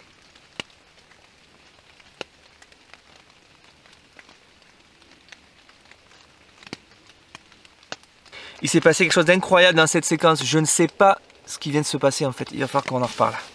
Euh, Il y a trop de choses qui sont cohérentes pour que ce soit du pur hasard. Et cette forêt nous réserve quand même quelques surprises, c'est clair. Euh, je vais essayer de, de ressortir, j'ai l'impression qu'il pleut plus, pour tenter une dernière expérience qui devrait vous plaire, j'en suis certain. Il vient de se passer beaucoup de choses sous ma tente. J'ai clairement eu la sensation que quelque chose voulait communiquer avec moi en roumain. Certains mots avaient du sens, et David et Alex ont eux aussi, semble-t-il, vécu un moment très particulier. Malgré tout, je me décide à sortir une dernière fois de ma tente pour une ultime expérience. Ok, je sors de ma tente. Ah. Ah. Ça fait au moins une heure que je m'étais réfugié pour, à cause de la pluie. Franchement, je crois que c'est plus de la. plus des, des gouttes d'eau qui tombent des arbres que la vraie pluie. Là. On va faire une expérience que je n'ai jamais fait sur la chaîne. Parce que c'est un peu loufoque. Enfin, c'est un peu loufoque. C'est pas. C'est pas. Vous m'entendez avec euh, le son de cette caméra qui est pourrie en fait, je me rends compte. C'est un peu loufoque et. Et à la fois, ça se tente. C'est avec l'application GhostTube, on va tenter du. de la reconnaissance de silhouettes dans la forêt. Voilà, donc là vous voyez ce que voit mon smartphone. hein. C'est parti. Le son doit être meilleur d'ailleurs. Et là, voilà, ce qui va se passer, c'est que cette appli reconnaît des silhouettes humaines dans les bois. J'ai jamais fait cette expérience, c'est la première fois. Je suis moi-même assez peu convaincu parce que c'est très tiré par les cheveux, mais ça peut, qui sait, euh, déclencher l'apparition d'une silhouette vraiment convaincante à un moment donné. Il pleut encore pas mal, mais ça c'est un peu calmé quand même. C'est dingue. hein. Ça reconnaît clairement les silhouettes. Alors c'est très tiré par les cheveux ce que je suis en train de faire. Là, on dirait qu'il y a une silhouette qui est en train de marcher, vous avez vu? C'est juste le feuillage devant moi. Je vais m'aventurer sur le chemin là-bas. C'est beaucoup plus... Euh, il y a un chemin là, j'y étais tout à l'heure. Il est beaucoup plus dégagé.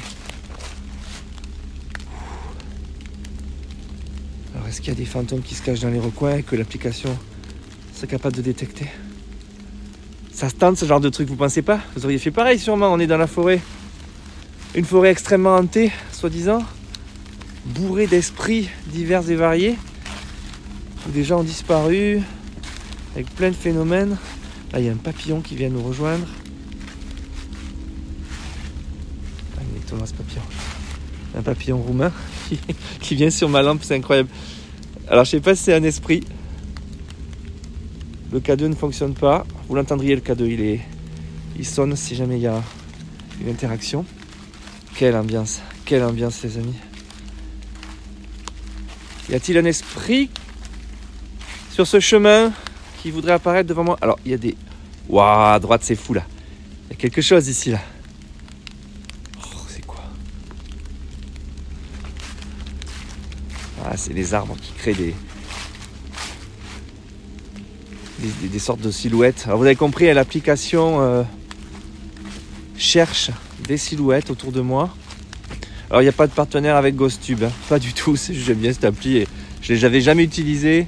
Et ne pouvant pas amener tout mon matériel ici, je me suis décidé à utiliser ce genre de truc pour voir, pour tester, pour tester tout simplement. Mais on garde beaucoup de recul avec tout ça. Ce sont juste des applis permettent de chasser les fantômes et il n'y a rien de prouvé quoi. Je marche seul dans une forêt hantée en Roumanie, en Transylvanie, à la recherche d'esprits, d'entités. Ouah, c'est fou là, là il y a vraiment des trucs.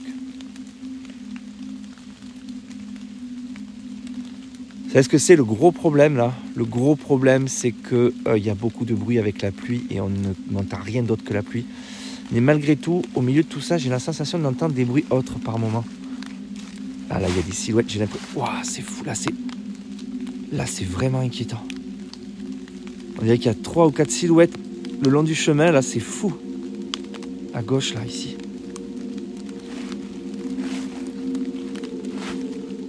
Est-ce que c'est un esprit qui est là? Y a-t-il un esprit avec moi là? Ah, il faudrait que je le fasse en roumain.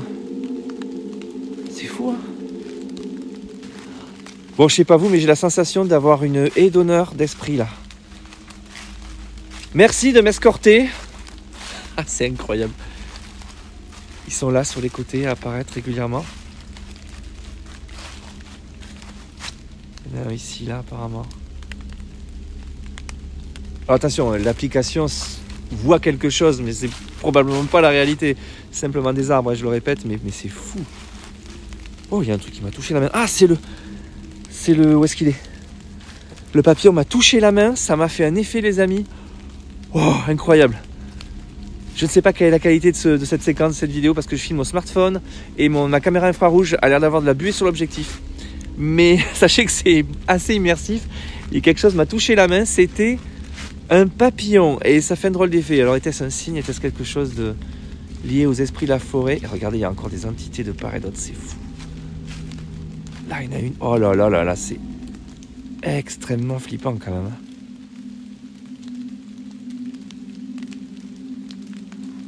Il y a vraiment. Alors, ce qui est fou, c'est qu'à certains endroits, on voit pas vraiment à quoi ça correspond. On dirait que vraiment la- l'appli détecte euh, silhouette. hein. Il y a un truc dans l'arbre là.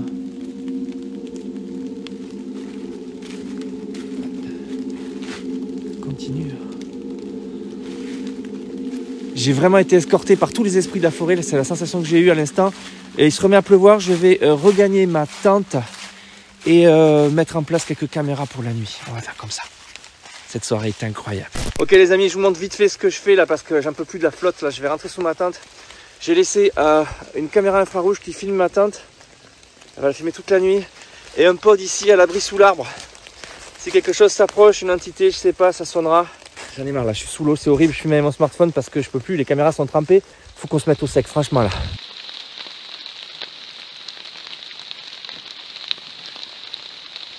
Pareil, j'ai ma dose.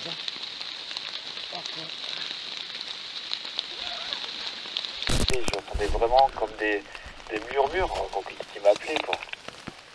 Ouais ouais ben je vois tout à fait. Moi c'est pareil, je suis resté 5 minutes.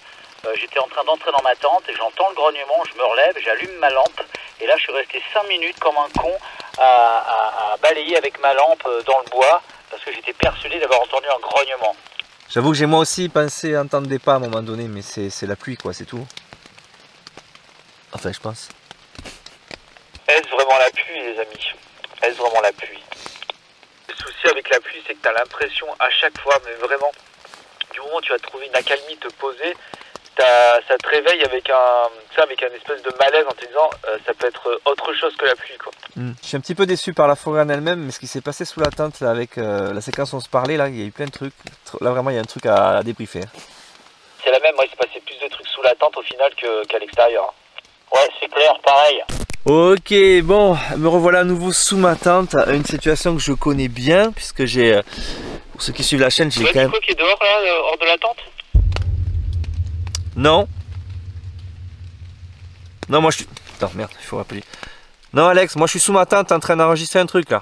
Et on entend des bruits partout, mais c'est vrai qu'on on vient de, de- de vivre euh, deux heures de flotte, c'est terrible là. Je, moi, Tu vois, c'est toi euh, qui prank David?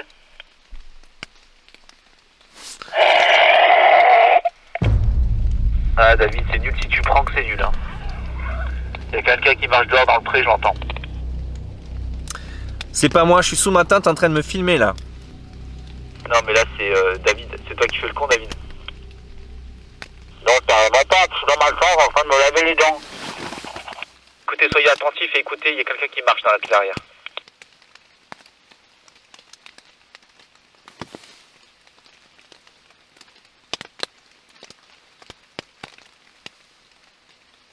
Alex, il y a beaucoup de bruit de gouttes d'eau. Hein. Faut, voilà, c'est probablement ça. T'es sûr Alex Moi Je j'entends. la tente, je regarde parce que j'aime pas. Bon, les amis, je vais essayer de dormir. Je suis crevé. Euh, je vais essayer de mettre dans mon bon duvet, là, mon gros duvet polaire. Essayer de dormir. Et les caméras vont surveiller. Et euh, souhaitons qu'il se passe rien. Et de toute façon, s'il y a quelque chose, si mes potes entendent quelque chose ou quoi, je vous reprends. Vous savez comment ça marche. Ah, si, un dernier truc. Un tout dernier truc. J'ai une gousse d'ail dans la tente. On en a chacun une. Parce qu'on est quand même en Transylvanie. Et on espère ne pas attirer euh, ceux qu'on ne voudrait pas attirer, à savoir euh, ceux qui vous aspirent le sang pendant que vous dormez. Donc je laisse cette gousse d'ail près de mon, duvet, près de mon matelas, juste ici. Allez les amis, on se reprend s'il y a quelque chose. Sinon, bonne nuit à vous. Je sais pas pourquoi je vous dis bonne nuit, je suis mort.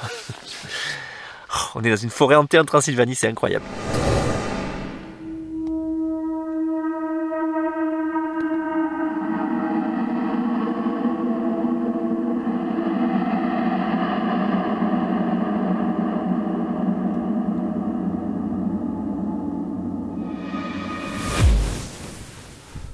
Je, vous- reprends les amis, la viteuf, ça fait, je sais pas, une demi-heure que j'essaie de dormir, mais j'entends des bruits de pas dehors, c'est incroyable. Alors c'est clairement le bruit de la pluie, c'est sûr, j'en suis certain, mais il y a eu deux trois fois, j'ai vraiment eu l'impression que quelque chose s'approchait de la tente, c'était fou quoi. Extrêmement angoissant quoi. J'arrive pas à m'endormir avec tout ce bruit. Il va bien falloir pourtant.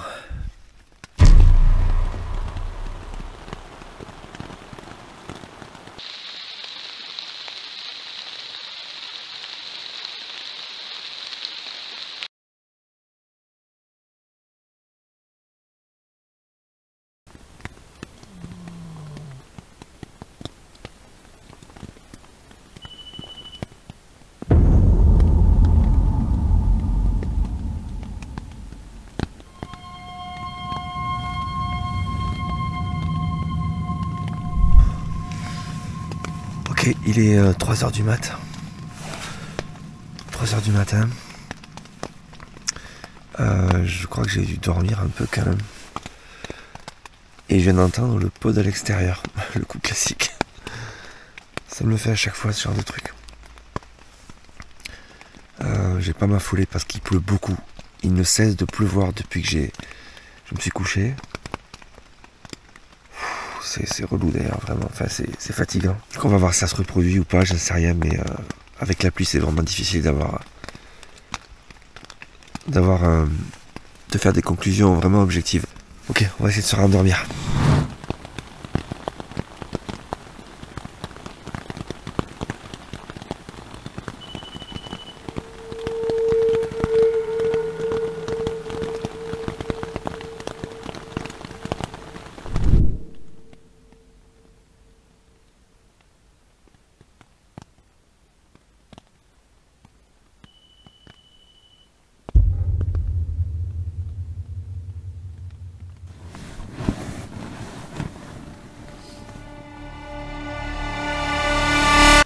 mat. Le pod vient de, se- déclencher pour la, la troisième fois. Moi j'ai pas relevé la deuxième fois, j'étais en train de dormir vraiment. Mais je l'ai entendu. Ce qui est surprenant, c'est qu'il pleut beaucoup. Et il déclenche que de temps en temps, mais c'est rare, trois fois. Euh, je sais si on peut l'attribuer à la pluie ou pas, j'en sais rien, mais ça devrait déclencher plus souvent, c'est étonnant. J'ai heureusement une caméra qui tourne à l'extérieur. Elle n'est pas sur le pod, mais elle est sur la tente. Si quelque chose a bougé, on le verra. Ok. Il est, euh, il est 5h10. La pluie vient enfin de cesser. Il a plu toute la nuit. Je suis désolé pour. euh, La tête, c'est horrible. C'était une nuit vraiment éprouvante. Mais ce que je voulais vous dire, c'est qu'il y a eu donc le, pod a, a sonné trois fois dans la nuit. Désolé, je suis enrhumé en plus, je parle du nez, c'est horrible. Mais là, depuis cinq minutes, j'ai entendu deux fois une sorte de cri dans la forêt. J'aimerais tellement qu'on l'entende là.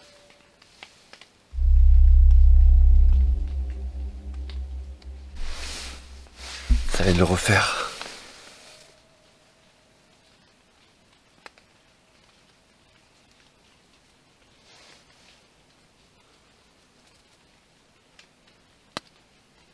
Je l'ai capté là.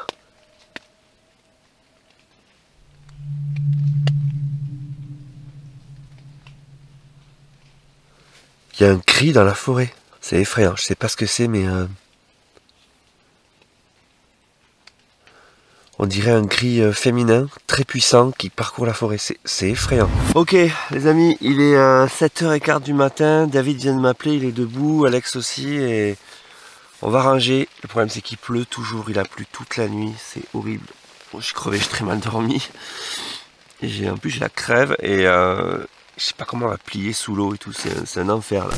Ok, je viens de sortir de ma tente, je commence à ranger. Oh, les conditions sont vraiment pas bonnes. Euh, J'ai pas pris ma caméra principale, désolé, parce que là il pleut trop. L'image n'est donc pas forcément comme d'habitude. Euh, Celle-ci, elle s'est arrêtée, je crois qu'elle est au bout. On va surtout aller chercher la caméra de chasse qui est euh, dans la forêt, par ici. On va suivre le sentier. Elle est tout au bout. La Roumanie au mois de novembre, c'est pas la folie, hein Allez là, elle a pas bougé. Alors c'est hautement improbable qu'on ait quelque chose, bien sûr. Mais on va quand même tenter le coup, on va regarder. J'ai rarement tourné une vidéo dans un lieu comme ça la nuit tout seul avec des conditions pareilles. Replay. 2227 déclenchements, mais c'est la pluie, c'est pas possible. 2227 déclenchements, c'est. C'est pas possible. Alors, il y a des déclenchements hier soir. Non mais 2227 c'est un record absolu, j'ai jamais vu ça. Faut vraiment venir dans cette forêt pour avoir ce genre de choses. Après il y a eu du vent, il y a eu de la pluie, euh, sûrement des déclenchements, des faux déclenchements. Là j'ai rien du tout. Pourquoi ça s'est déclenché aussi souvent? C'est très étrange, vraiment là. À ce point-là, j'ai jamais vu ça. hein. Je trierai ces images tranquillement en studio, mais là comme ça, j'ai pas du tout, euh, je sais tout ce qui a déclenché. 2227 déclenchements, probablement des faux déclenchements. Bon, je vais finir de ranger ma tente et puis il va être temps qu'on quitte euh, cette étrange forêt qui ne nous aura pas facilité la vie hein, cette nuit. Ça y est, c'est plié. Je laisse euh, cet endroit aussi euh, net et pur qu'il était hier soir. Et je vais voir mes potes ce qu'ils deviennent. J'ai l'impression que la nuit a été dure pour à peu près tout le monde. On redescend les amis Sous les averses, c'est l'enfer franchement Cette forêt veut nous faire partir, n'est-ce pas? Ah mais clairement c'est un truc de ouf hein. Insupportable Allez, on s'en va. Vivement qu'on retrouve le, le chaud et le sec. Bon ben, il y a des moutons, il pleut, c'est la Roumanie. On était par là, sûr Ouais, il faut qu'on à gauche. On est passé plus haut en fait. Oh, ça sent bon. Putain, hum. Ça sent bon les sent- moutons. Ça sent le lait de brebis. Ah Le fromage de brebis Les amigos, on est de retour à Cluj-Napoca. Euh, on est épuisé, euh, transi de froid. Ça a été très long la descente. on en a marre et c'est ici que ça s'achève. Donc, euh, merci. même pas Alex. fatigué hein T'es pas fatigué Tout va bien, regarde, qu'est-ce que tu- Non, ils ont l'air frais, ils ont l'air frais. Non, on est bien. Merci Alex, Euh, merci David. De toute façon, je- on va reparler lors de la conclusion, mais euh, suivez-les sur leur chaîne, c'est des mecs incroyables. Et je les remercie vraiment de m'avoir accompagné à cette aventure. J'étais ravi de les accompagner moi aussi. clairement. Donc c'était très cool. Euh, on se retrouve tout de suite les amis, on quitte la Roumanie pour se retrouver en studio, faire un petit débrief parce que je pense qu'il y a beaucoup de choses à raconter. Parce qu'il y a vraiment eu des trucs incroyables et il y a une machine qui arrive, faut que je vous laisse. A tout de suite en studio les amis, on s'en sort pas. Ciao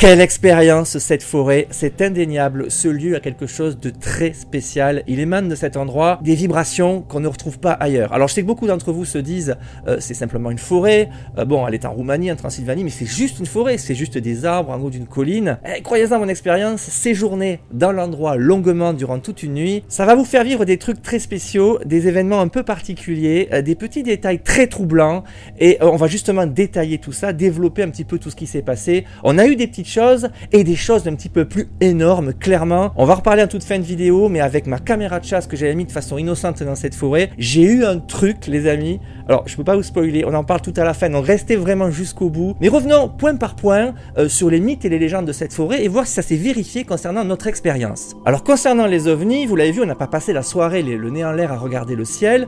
Euh, cependant, on a eu euh, le ciel assez dégagé avant que la pluie arrive.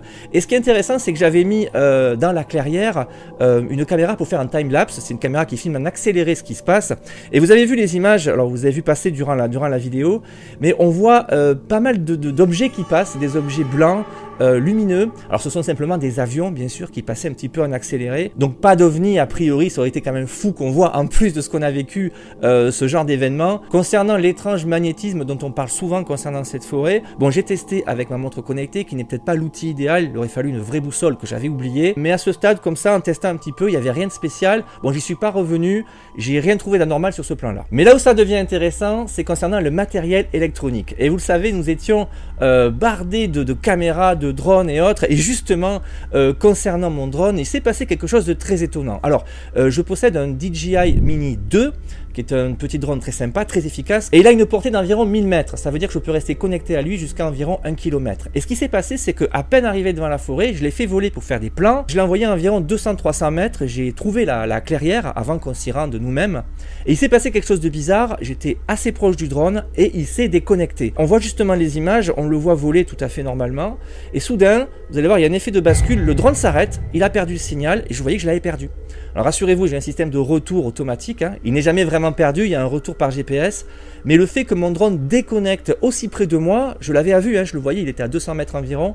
C'est très bizarre, très particulier. Et vous l'aurez remarqué, c'était à l'approche de cette fameuse clairière dont on va reparler. Parce que l'essentiel des événements qu'on a eus se sont déroulés autour de cette clairière. Alors vous savez, je le dis en début de vidéo, on parle souvent de problèmes de batterie, euh, de caméra qui se décharge trop vite. Alors j'ai eu effectivement la batterie de ma caméra principale qui s'est déchargée anormalement vite. Mais bon, j'ai beaucoup filmé, il faisait froid, ça joue un petit peu sur les batteries. J'ai dû la changer assez vite, mais le problème s'est résolu après. Les, batteries suivantes ont tenu normalement. J'ai eu également des problèmes de lampe. Euh, Il y a une petite lampe qui s'est éteinte toute seule dans la tente. Et également ma, ma caméra extérieure qui s'est éteinte à 2h45. Mais pour ces deux appareils, c'est tout simplement la logique des choses. Euh, ils ont été utilisés longuement et les, les batteries sont arrivées à leur terme. Et j'ai rien trouvé d'anormal, en tout cas rien d'extraordinaire à ce que cette lampe et la caméra extérieure s'éteignent prématurément. Concernant mes déambulations dans la forêt, que ce soit à la torche, au laser ou bien en infrarouge, Mis à part une ambiance très oppressante, j'ai rien vu de particulier. C'est une forêt la nuit, bien sûr c'est impressionnant, c'est bizarre, c'est très euh, cinématographique bien sûr, mais je n'ai rien vu de spécial. Je soulignerai quand même ce qui s'est passé, notamment lorsque j'étais en train de filmer le laser. J'étais en train d'interpeller un petit peu les esprits de la forêt, j'espérais avoir une réponse, et il y a eu ce coup de vent soudain qui a soulevé beaucoup de particules, c'était assez impressionnant. On a senti que l'ambiance changeait dans la forêt. Hey, regardez, il se passe des choses là, on a pas mal de scintillements, beaucoup plus puissants que ce que j'avais jusque-là. Alors faut dire que le vent se lève. Au moment où je pose ma question, on a un gros coup de vent là. Bon, ça annonçait clairement la pluie, hein, la météo était en train de changer, je pense que ça explique tout ça. Donc un moment très fort. Et puis il y a eu également ce moment lorsque j'étais en infrarouge, dans le noir complet, il pleuvait, les conditions étaient vraiment épouvantables. Je me suis moitié perdu, en fait, je retrouvais pas mon chemin. Et, puis c'est pas possible de continuer comme ça, quoi. Si je suis trempé, je pourrais pas dormir. Ah putain, j'ai. Ah là, c'est horrible. C'est compliqué. Qu'est-ce que je fous là, les amis? C'était un moment un petit peu angoissant, je dois l'avouer. J'étais fatigué, j'étais trempé, j'avais peur pour ma caméra, pour mon matériel. C'est commencé à pleuvoir assez fort. En tout cas, ça fait partie de l'expérience. Cette forêt ne nous a décidément pas facilité la vie cette nuit-là. Et j'étais bien content de retrouver ma tente. Un dernier mot quand même concernant mes déambulations avec l'application GhostTube et le mode SLS, c'est-à-dire le mode de l'application qui permet de, ben, de voir toutes ces silhouettes inquiétantes dans la forêt. Alors c'était absolument oppressant là aussi, c'était très étrange. Mais bon, je garde beaucoup de recul par rapport à ça. Je pense que l'essentiel des déclenchements était dû aux aux arbres, euh, à la forme des végétaux autour de moi. Il n'y avait rien de surnaturel, du moins je le pense. Parce que si c'était pas le cas, sincèrement, j'étais entouré d'esprit tout au long de la promenade. Le moment le plus fort de la soirée, selon moi, c'est sous la tente. Vous l'avez vu, ça a été une véritable épreuve, euh, plein d'enseignements, c'était vraiment incroyable. Alors, vous l'avez vu, j'ai utilisé cette fameuse application GhostTube. Alors, il n'y a pas de partenariat, hein, je le rappelle, c'est juste parce que cette application me, plaisait, j'avais envie de tester. Euh, je n'ai pas pu amener avec moi le Spirit Voice parce qu'on était limité au niveau du poids. Donc je me suis dit, bon, c'est l'occasion de tester cette application dont beaucoup de gens parlent et beaucoup d'enquêteurs l'utilisent. Alors il faut quand même rappeler qu'un smartphone n'est pas un détecteur de fantômes à proprement parler, qui génère lui-même des ondes électromagnétiques. Je sais d'ailleurs pas trop comment marche cette application, c'est très bizarre, mais il faut avouer qu'il s'est passé des choses assez troublantes. J'ai clairement eu l'impression sous ma tente de discuter avec quelque chose, peut-être une entité. Il faut peut-être rappeler que cette application, ben, c'est son job, hein, c'est son boulot, c'est de vous faire croire que vous parlez avec un fantôme, avec une entité. Mais il faut l'avouer, c'était extrêmement troublant. L'entité, le- le- la chose, euh, me disait de venir la retrouver à l'extérieur, qu'elle était faible, qu'elle avait besoin d'aide. Sincèrement, je me posais des questions, il s'est passé quelque chose de très bizarre. Venez ici. Je peux pas sortir de la tente. Il pleut trop là. Je suis. Je suis faible. Est-ce que je suis mort? Il va se passer un moment très intéressant d'ailleurs et je voulais le reprendre avec vous parce que je ne l'ai pas vraiment relevé dans la vidéo. C'est au moment où je commence à parler avec mes potes euh, au Talkie Walkie. Euh, J'avais demandé précédemment euh, comment est-ce après la mort en roumain. Et l'application m'a répondu et j'ai pas vraiment relevé. Ça me répond Purgatoire. Purgatoire. Alors purgatoire c'est assez intéressant, j'ai vraiment cherché la définition parce que pour moi c'était un peu l'enfer. En fait pas du tout, c'est un lieu où les âmes expient leurs péchés, du moins dans la chrétienté, dans le monde catholique, c'est ce qu'on croit. Alors est-ce que cette forêt est en fait un purgatoire, une zone où les âmes perdues viennent euh, se rassembler avant de passer euh, de l'autre côté, euh, viennent expier leurs péchés Difficile à dire, tout ça est très tiré par les cheveux bien sûr, mais bon, on fait travailler l'imagination. En tout cas, la réponse purgatoire était claire et clairement on se pose des questions. Mais un des moments les plus intenses, un des moments les plus forts, c'est lorsque j'étais en communication au talkie-walkie avec Alex et David. Il y avait beaucoup de tension, on n'était pas bien, on expérimentait chacun à notre tour des trucs un peu bizarres, chacun de notre côté. Euh, pourtant, on était séparés d'environ 150 ou 200 mètres. On était en fait aux trois coins de la clairière, chacun d'un côté, et on communiquait par talkie-walkie. Il faut savoir que les talkie-walkie qu'on utilisait ont normalement une portée de 1 à 2 km en champ libre. On était très proches, on était à environ 100-150 mètres les uns des autres, et on avait des interférences très spéciales, euh, inexplicables. Euh, on ne sait pas ce qui s'est passé. T'as entendu des interférences à l'instant? Quand tu parlais, il y a des interférences derrière toi. Ah ouais, effectivement. Oui, je viens d'avoir une grosse interférence très bizarre. Et juste à ce moment-là, vous l'avez vu, mon téléphone parle, l'application me parle à nouveau et me dit Mă puteți auzi?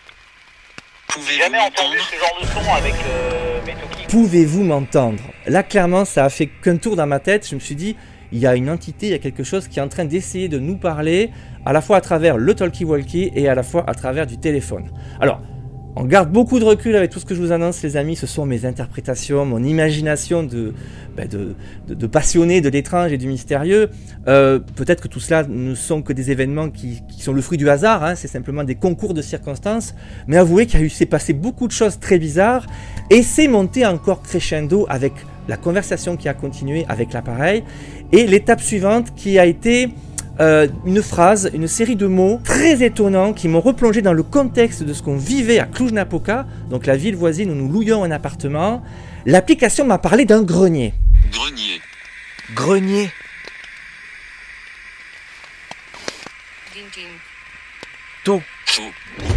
Mais non Eh. Il y a un truc de dingue. Il y a. Grenier, tôt, n'y allez pas. Alors là, ça frise la folie, la démence. Je ne sais pas ce qui s'est passé. Je vous en ai brièvement parlé durant la vidéo, mais sachez qu'on louait un appartement donc à Cluj-Napoca dans un vieil immeuble. Et les garçons, David et Alex, ont trouvé un vieux grenier dans lequel ils sont allés tourner euh, une vidéo, une interview. Euh, David a lui-même enquêté, je crois, dans ce grenier. Et une heure ou deux avant, lorsque nous mangions dans la clairière, il me disait faut vraiment qu'on t'y amène demain matin en rentrant de la forêt. Vous connaissez la suite? L'application m'a parlé de grenier, tôt, n'y allez pas. C'est complètement dément. Moi, ça m'a fait halluciner. David et Alex ont eux aussi interprété les mêmes choses que moi, donc c'est devenu complètement flippant. On s'est dit, il y a vraiment quelque chose qui nous parle. J'ai failli oublier de vous parler de la fameuse photo prise sous la tente à la demande de l'entité qui semblait me parler. En observant bien le cliché, j'ai eu la stupeur de découvrir un visage semble-t-il féminin légèrement derrière moi. Il s'agit évidemment de pur pareidolie, mais avouez que là aussi c'est extrêmement troublant. Je voulais revenir également sur ma nuit sous la tente lorsque j'ai essayé de dormir et j'y suis parvenu, je le sais parce que je me suis enregistré en train de ronfler à plusieurs reprises. Alors j'ai entendu, moi aussi comme Alex, des, ce qui me semblait être des pas, des pas qui semblaient s'approcher autour de moi, marcher autour de la tente. C'était très angoissant, très flippant, mais je pense qu'on a eu tout simplement affaire à de la pareidolie auditive dans le brouhaha de la pluie qui s'abattait sur la tente, sur le feuillage, sur les feuilles mortes autour de la tente. J'entends des bruits de pas dehors, c'est incroyable. C'est très difficile de faire la part des choses. Euh, on avait vraiment l'impression d'entendre marcher, mais moi je pense personnellement que c'était simplement la pluie. En principe, c'était la pluie. Les trois événements majeurs de ma nuit, ça restera les trois déclenchements du pod. Alors vous savez, j'avais laissé une caméra à l'extérieur. J'ai laissé euh, une caméra infrarouge qui filme ma tente. Elle va filmer toute la nuit. Qui s'est arrêtée à 2h45 du matin. La batterie était out. Ce qu'il faut que vous sachiez, c'est que euh, j'ai déjà eu ce genre de problème, de, des pods qui se déclenchent à l'extérieur et je ne vois pas ce qui se passe. Donc je m'étais juré cette fois-ci de braquer ma caméra sur le pod. Vous avez vu le contexte, vous avez vu les conditions. Euh, J'aurais voulu mettre le pod près de la tente, or il y avait trop de pluie, trop d'eau. J'ai dû le mettre à l'abri sous un arbre, hors champ de la caméra. Et un pod ici à l'abri sous l'arbre. Si quelque chose s'approche, une entité, je sais pas, ça sonnera. Je ne pouvais pas filmer à la fois ma tente et le pod. J'ai fait un choix, j'ai filmé ma tente. La caméra de toute manière s'est arrêtée prématurément à 2h45 faute de batterie. et on n'a pas vu le pod à aucun moment. Par contre, on l'entend très distinctement depuis la caméra qui filmait l'intérieur de la tente, celle qui me filmait en train de dormir.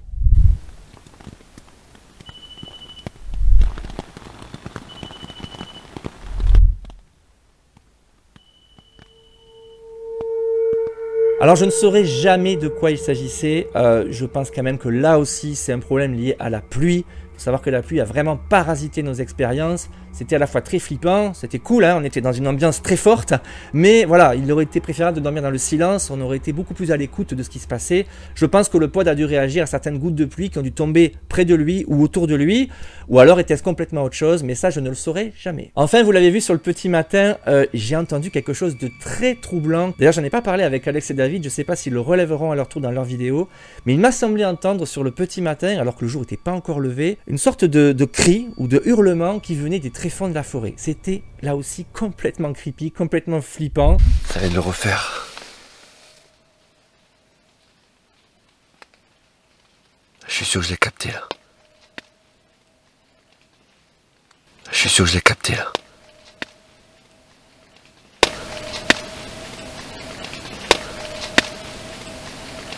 Alors on a l'impression d'avoir un cri très profond, spectral, une sorte de plainte. Alors ce qu'il faut que vous sachiez, c'est que la forêt est situé juste au-dessus de Cluj-Napoca, qui est quand même une métropole. Et ce son me fait penser après coup à un son industriel, à une grosse machine qui travaille, peut-être un train, peut-être des camions ou des machines, je sais pas. En tout cas, ça venait vraisemblablement de l'agglomération, c'est ce que je me suis dit. On a d'ailleurs entendu d'autres bruits provenant de la ville, notamment des sirènes de police et autres durant la nuit. Donc c'est pas impossible que ça vienne d'une usine ou de, je sais pas, d'un train ou d'un système de transport qui soit euh, établi du côté de Cluj-Napoca. Je pense que là, ça s'explique complètement, mais dans le contexte où nous étions, sincèrement, j'en menais pas large.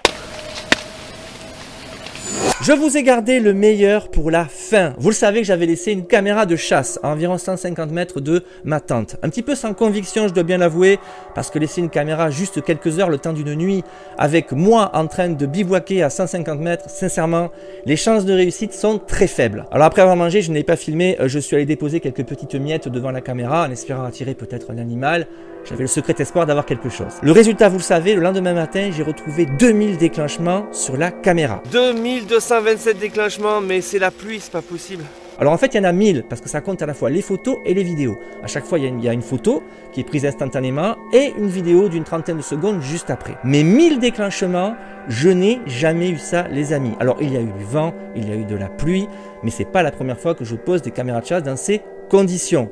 Que s'est-il passé? Là aussi, je ne le sais pas. Il faut vraiment que j'ai fait cette expérience dans cette forêt pour avoir ce genre de résultat. J'ai longuement analysé les images. Ça m'a pris du temps. Photo par photo, vidéo par vidéo. Ça a été extrêmement long. Et l'essentiel des prises de vue, eh bien, c'est ça. On voit la forêt avec donc cet épais tapis de feuilles mortes au sol, euh, les arbres autour, de jour comme de nuit, c'est à peu près le même décor, même si c'est beaucoup plus flippant la nuit.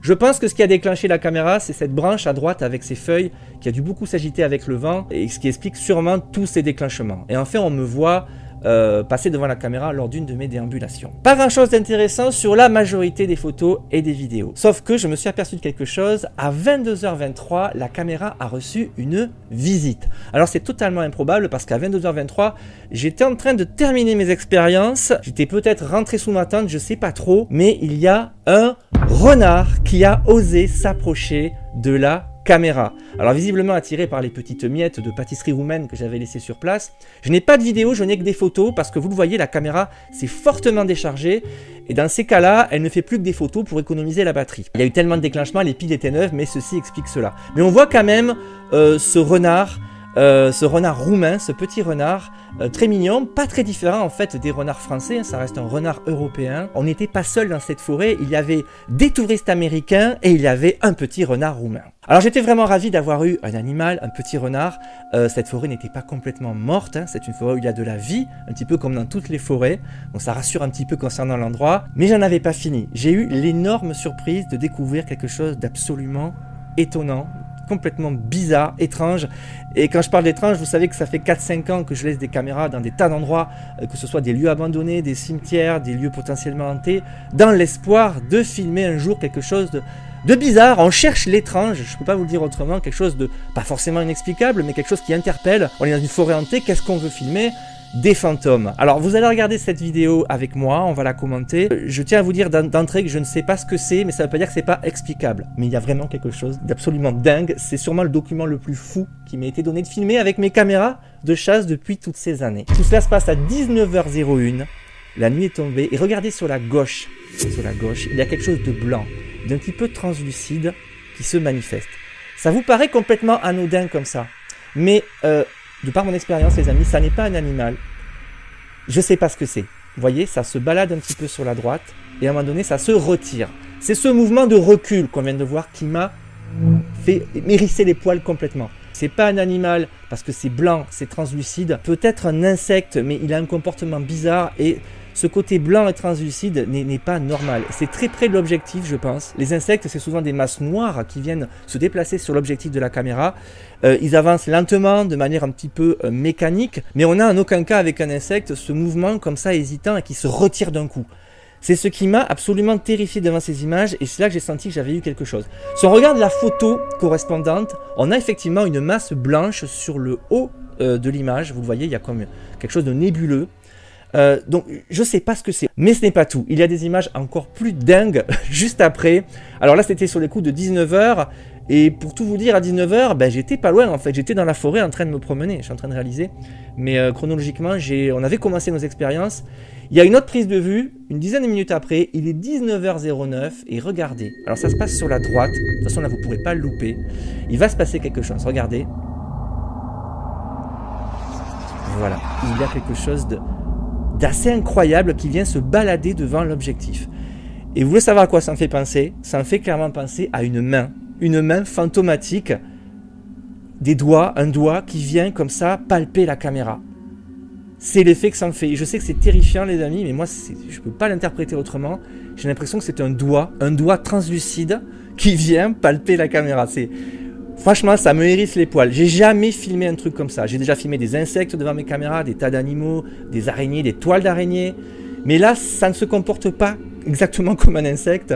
Ça n'est pas non plus, alors peut-être la main d'un animal, euh, une sorte de lémurien, je ne sais pas, mais c'est absolument bizarre. Je, ne sais pas l'interpréter. Alors la photo correspondante, la voici. Il euh, n'y ben, a rien en fait. Le truc ne s'était pas encore manifesté. C'est comme si la, la chose était sur le côté de la caméra comme ça et venait passer la main, le doigt palper l'objectif, voir ce que c'est. C'est un peu l'impression que ça me donne. Alors, j'aimerais quand même que vous sachiez que ce que j'ai filmé là euh, a peut-être une explication. C'est pas parce que je l'ai pas qu'il n'y a pas une explication. C'est peut-être un insecte un peu atypique, même si ça n'a pas la couleur et le comportement d'un insecte traditionnel tel que je les ai déjà filmés avec mes caméras. C'est peut-être voilà quelque chose de tout à fait explicable. À ce jour, j'ai pas la réponse. Euh, je pense avoir filmé quelque chose de super intéressant. Peut-être un esprit de la forêt, peut-être un fantôme, mais ça je ne peux pas vous l'assurer les amis, je vous laisse faire votre propre avis là-dessus comme je vous dis souvent. Il y a peut-être une explication, attention, ne nous enflammons pas, mais c'est une des images, euh, une des captures en vidéo les plus incroyables que j'ai jamais fait avec mes caméras de chasse. Et ce qui est fou, c'est que ça s'est produit dans un endroit unique, complètement fou, cette fameuse forêt hantée en Roumanie. Il y a un ultime détail que nous devons aborder et dont je réalise l'importance à l'heure où je termine le montage. Vous vous rappelez sûrement de ce grognement étrange survenu dans nos talkies. Toi euh, qui prends David Ah David, c'est nul si tu prends que c'est nul. Hein. Sur le coup, comme Alex, je pensais que David en était à l'origine, et à juste titre car il a l'habitude de nous faire des blagues. Sauf que j'en ai reparlé avec lui ces jours-ci, et il m'a assuré le plus sérieusement du monde que ce n'était pas lui. Et en effet, on l'entend se brosser les dents juste après. Un je suis dans ma chambre en train de me laver les dents. Ce n'était pas moi, vous l'avez vu, et ce n'était pas Alex non plus, car il a réagi au grognement. Alors c'était qui? Cette question me fait froid dans le dos. Avons-nous eu affaire à une série de coïncidences, de pareidolie, de bruits parasites ou de présence animale autour de nous? La question se pose. Mais quoi qu'il en soit, notre expérience dans cette forêt nous laissera un souvenir très perturbant. Voilà ce qu'on pouvait dire, ce qu'on pouvait débriefer concernant cette aventure. C'était absolument incroyable. Alors en compagnie euh, de David et Alex, mes deux potes de YouTube, mes deux copains aventuriers, on s'est vraiment régalé. Et ce qui est incroyable, c'est que à l'heure où est sortie ma vidéo, vous avez leurs vidéos respectives sur leurs chaînes respectives. Vous pourrez voir ce qui s'est passé de leur côté durant la même nuit voir ce qu'ils ont vécu sous leur tente, ce qui s'est passé à l'autre bout du talkie-walkie, les amis. Ça a été oppressant également pour eux aussi. Ils ont vécu des moments vraiment très spéciaux. Donc je vous invite vraiment à aller voir leurs vidéos. Je vous mets évidemment le lien dans la description. Alex de la chaîne iSolve et David de la chaîne Projet 51. J'espère que cette aventure vous a plu. C'était beaucoup d'investissement, une vraie aventure à l'autre bout de l'Europe. J'ai adoré. Euh, C'était vraiment fou de se retrouver là, de vivre tout ça et d'avoir ces résultats. Je tiendrai quand même, avant de vous quitter, à saluer la Roumanie, un pays extraordinaire qu'on a pris beaucoup de plaisir à découvrir avec des habitants extrêmement accueillants, extrêmement chaleureux. C'est vraiment une destination atypique qui mérite d'être découverte. Il y a beaucoup de préjugés sur la Roumanie. Ben, quand vous y êtes, tout tombe. C'est un pays très développé, très avancé, absolument magnifique, avec beaucoup de choses à découvrir. Donc les amis, si vous savez pas où aller les prochains mois en voyage, allez faire un tour en Roumanie. C'est la fin de la vidéo. N'oubliez pas de vous abonner, de liker, de partager, bien sûr. Merci vraiment de suivre mes aventures. À très bientôt. Ciao.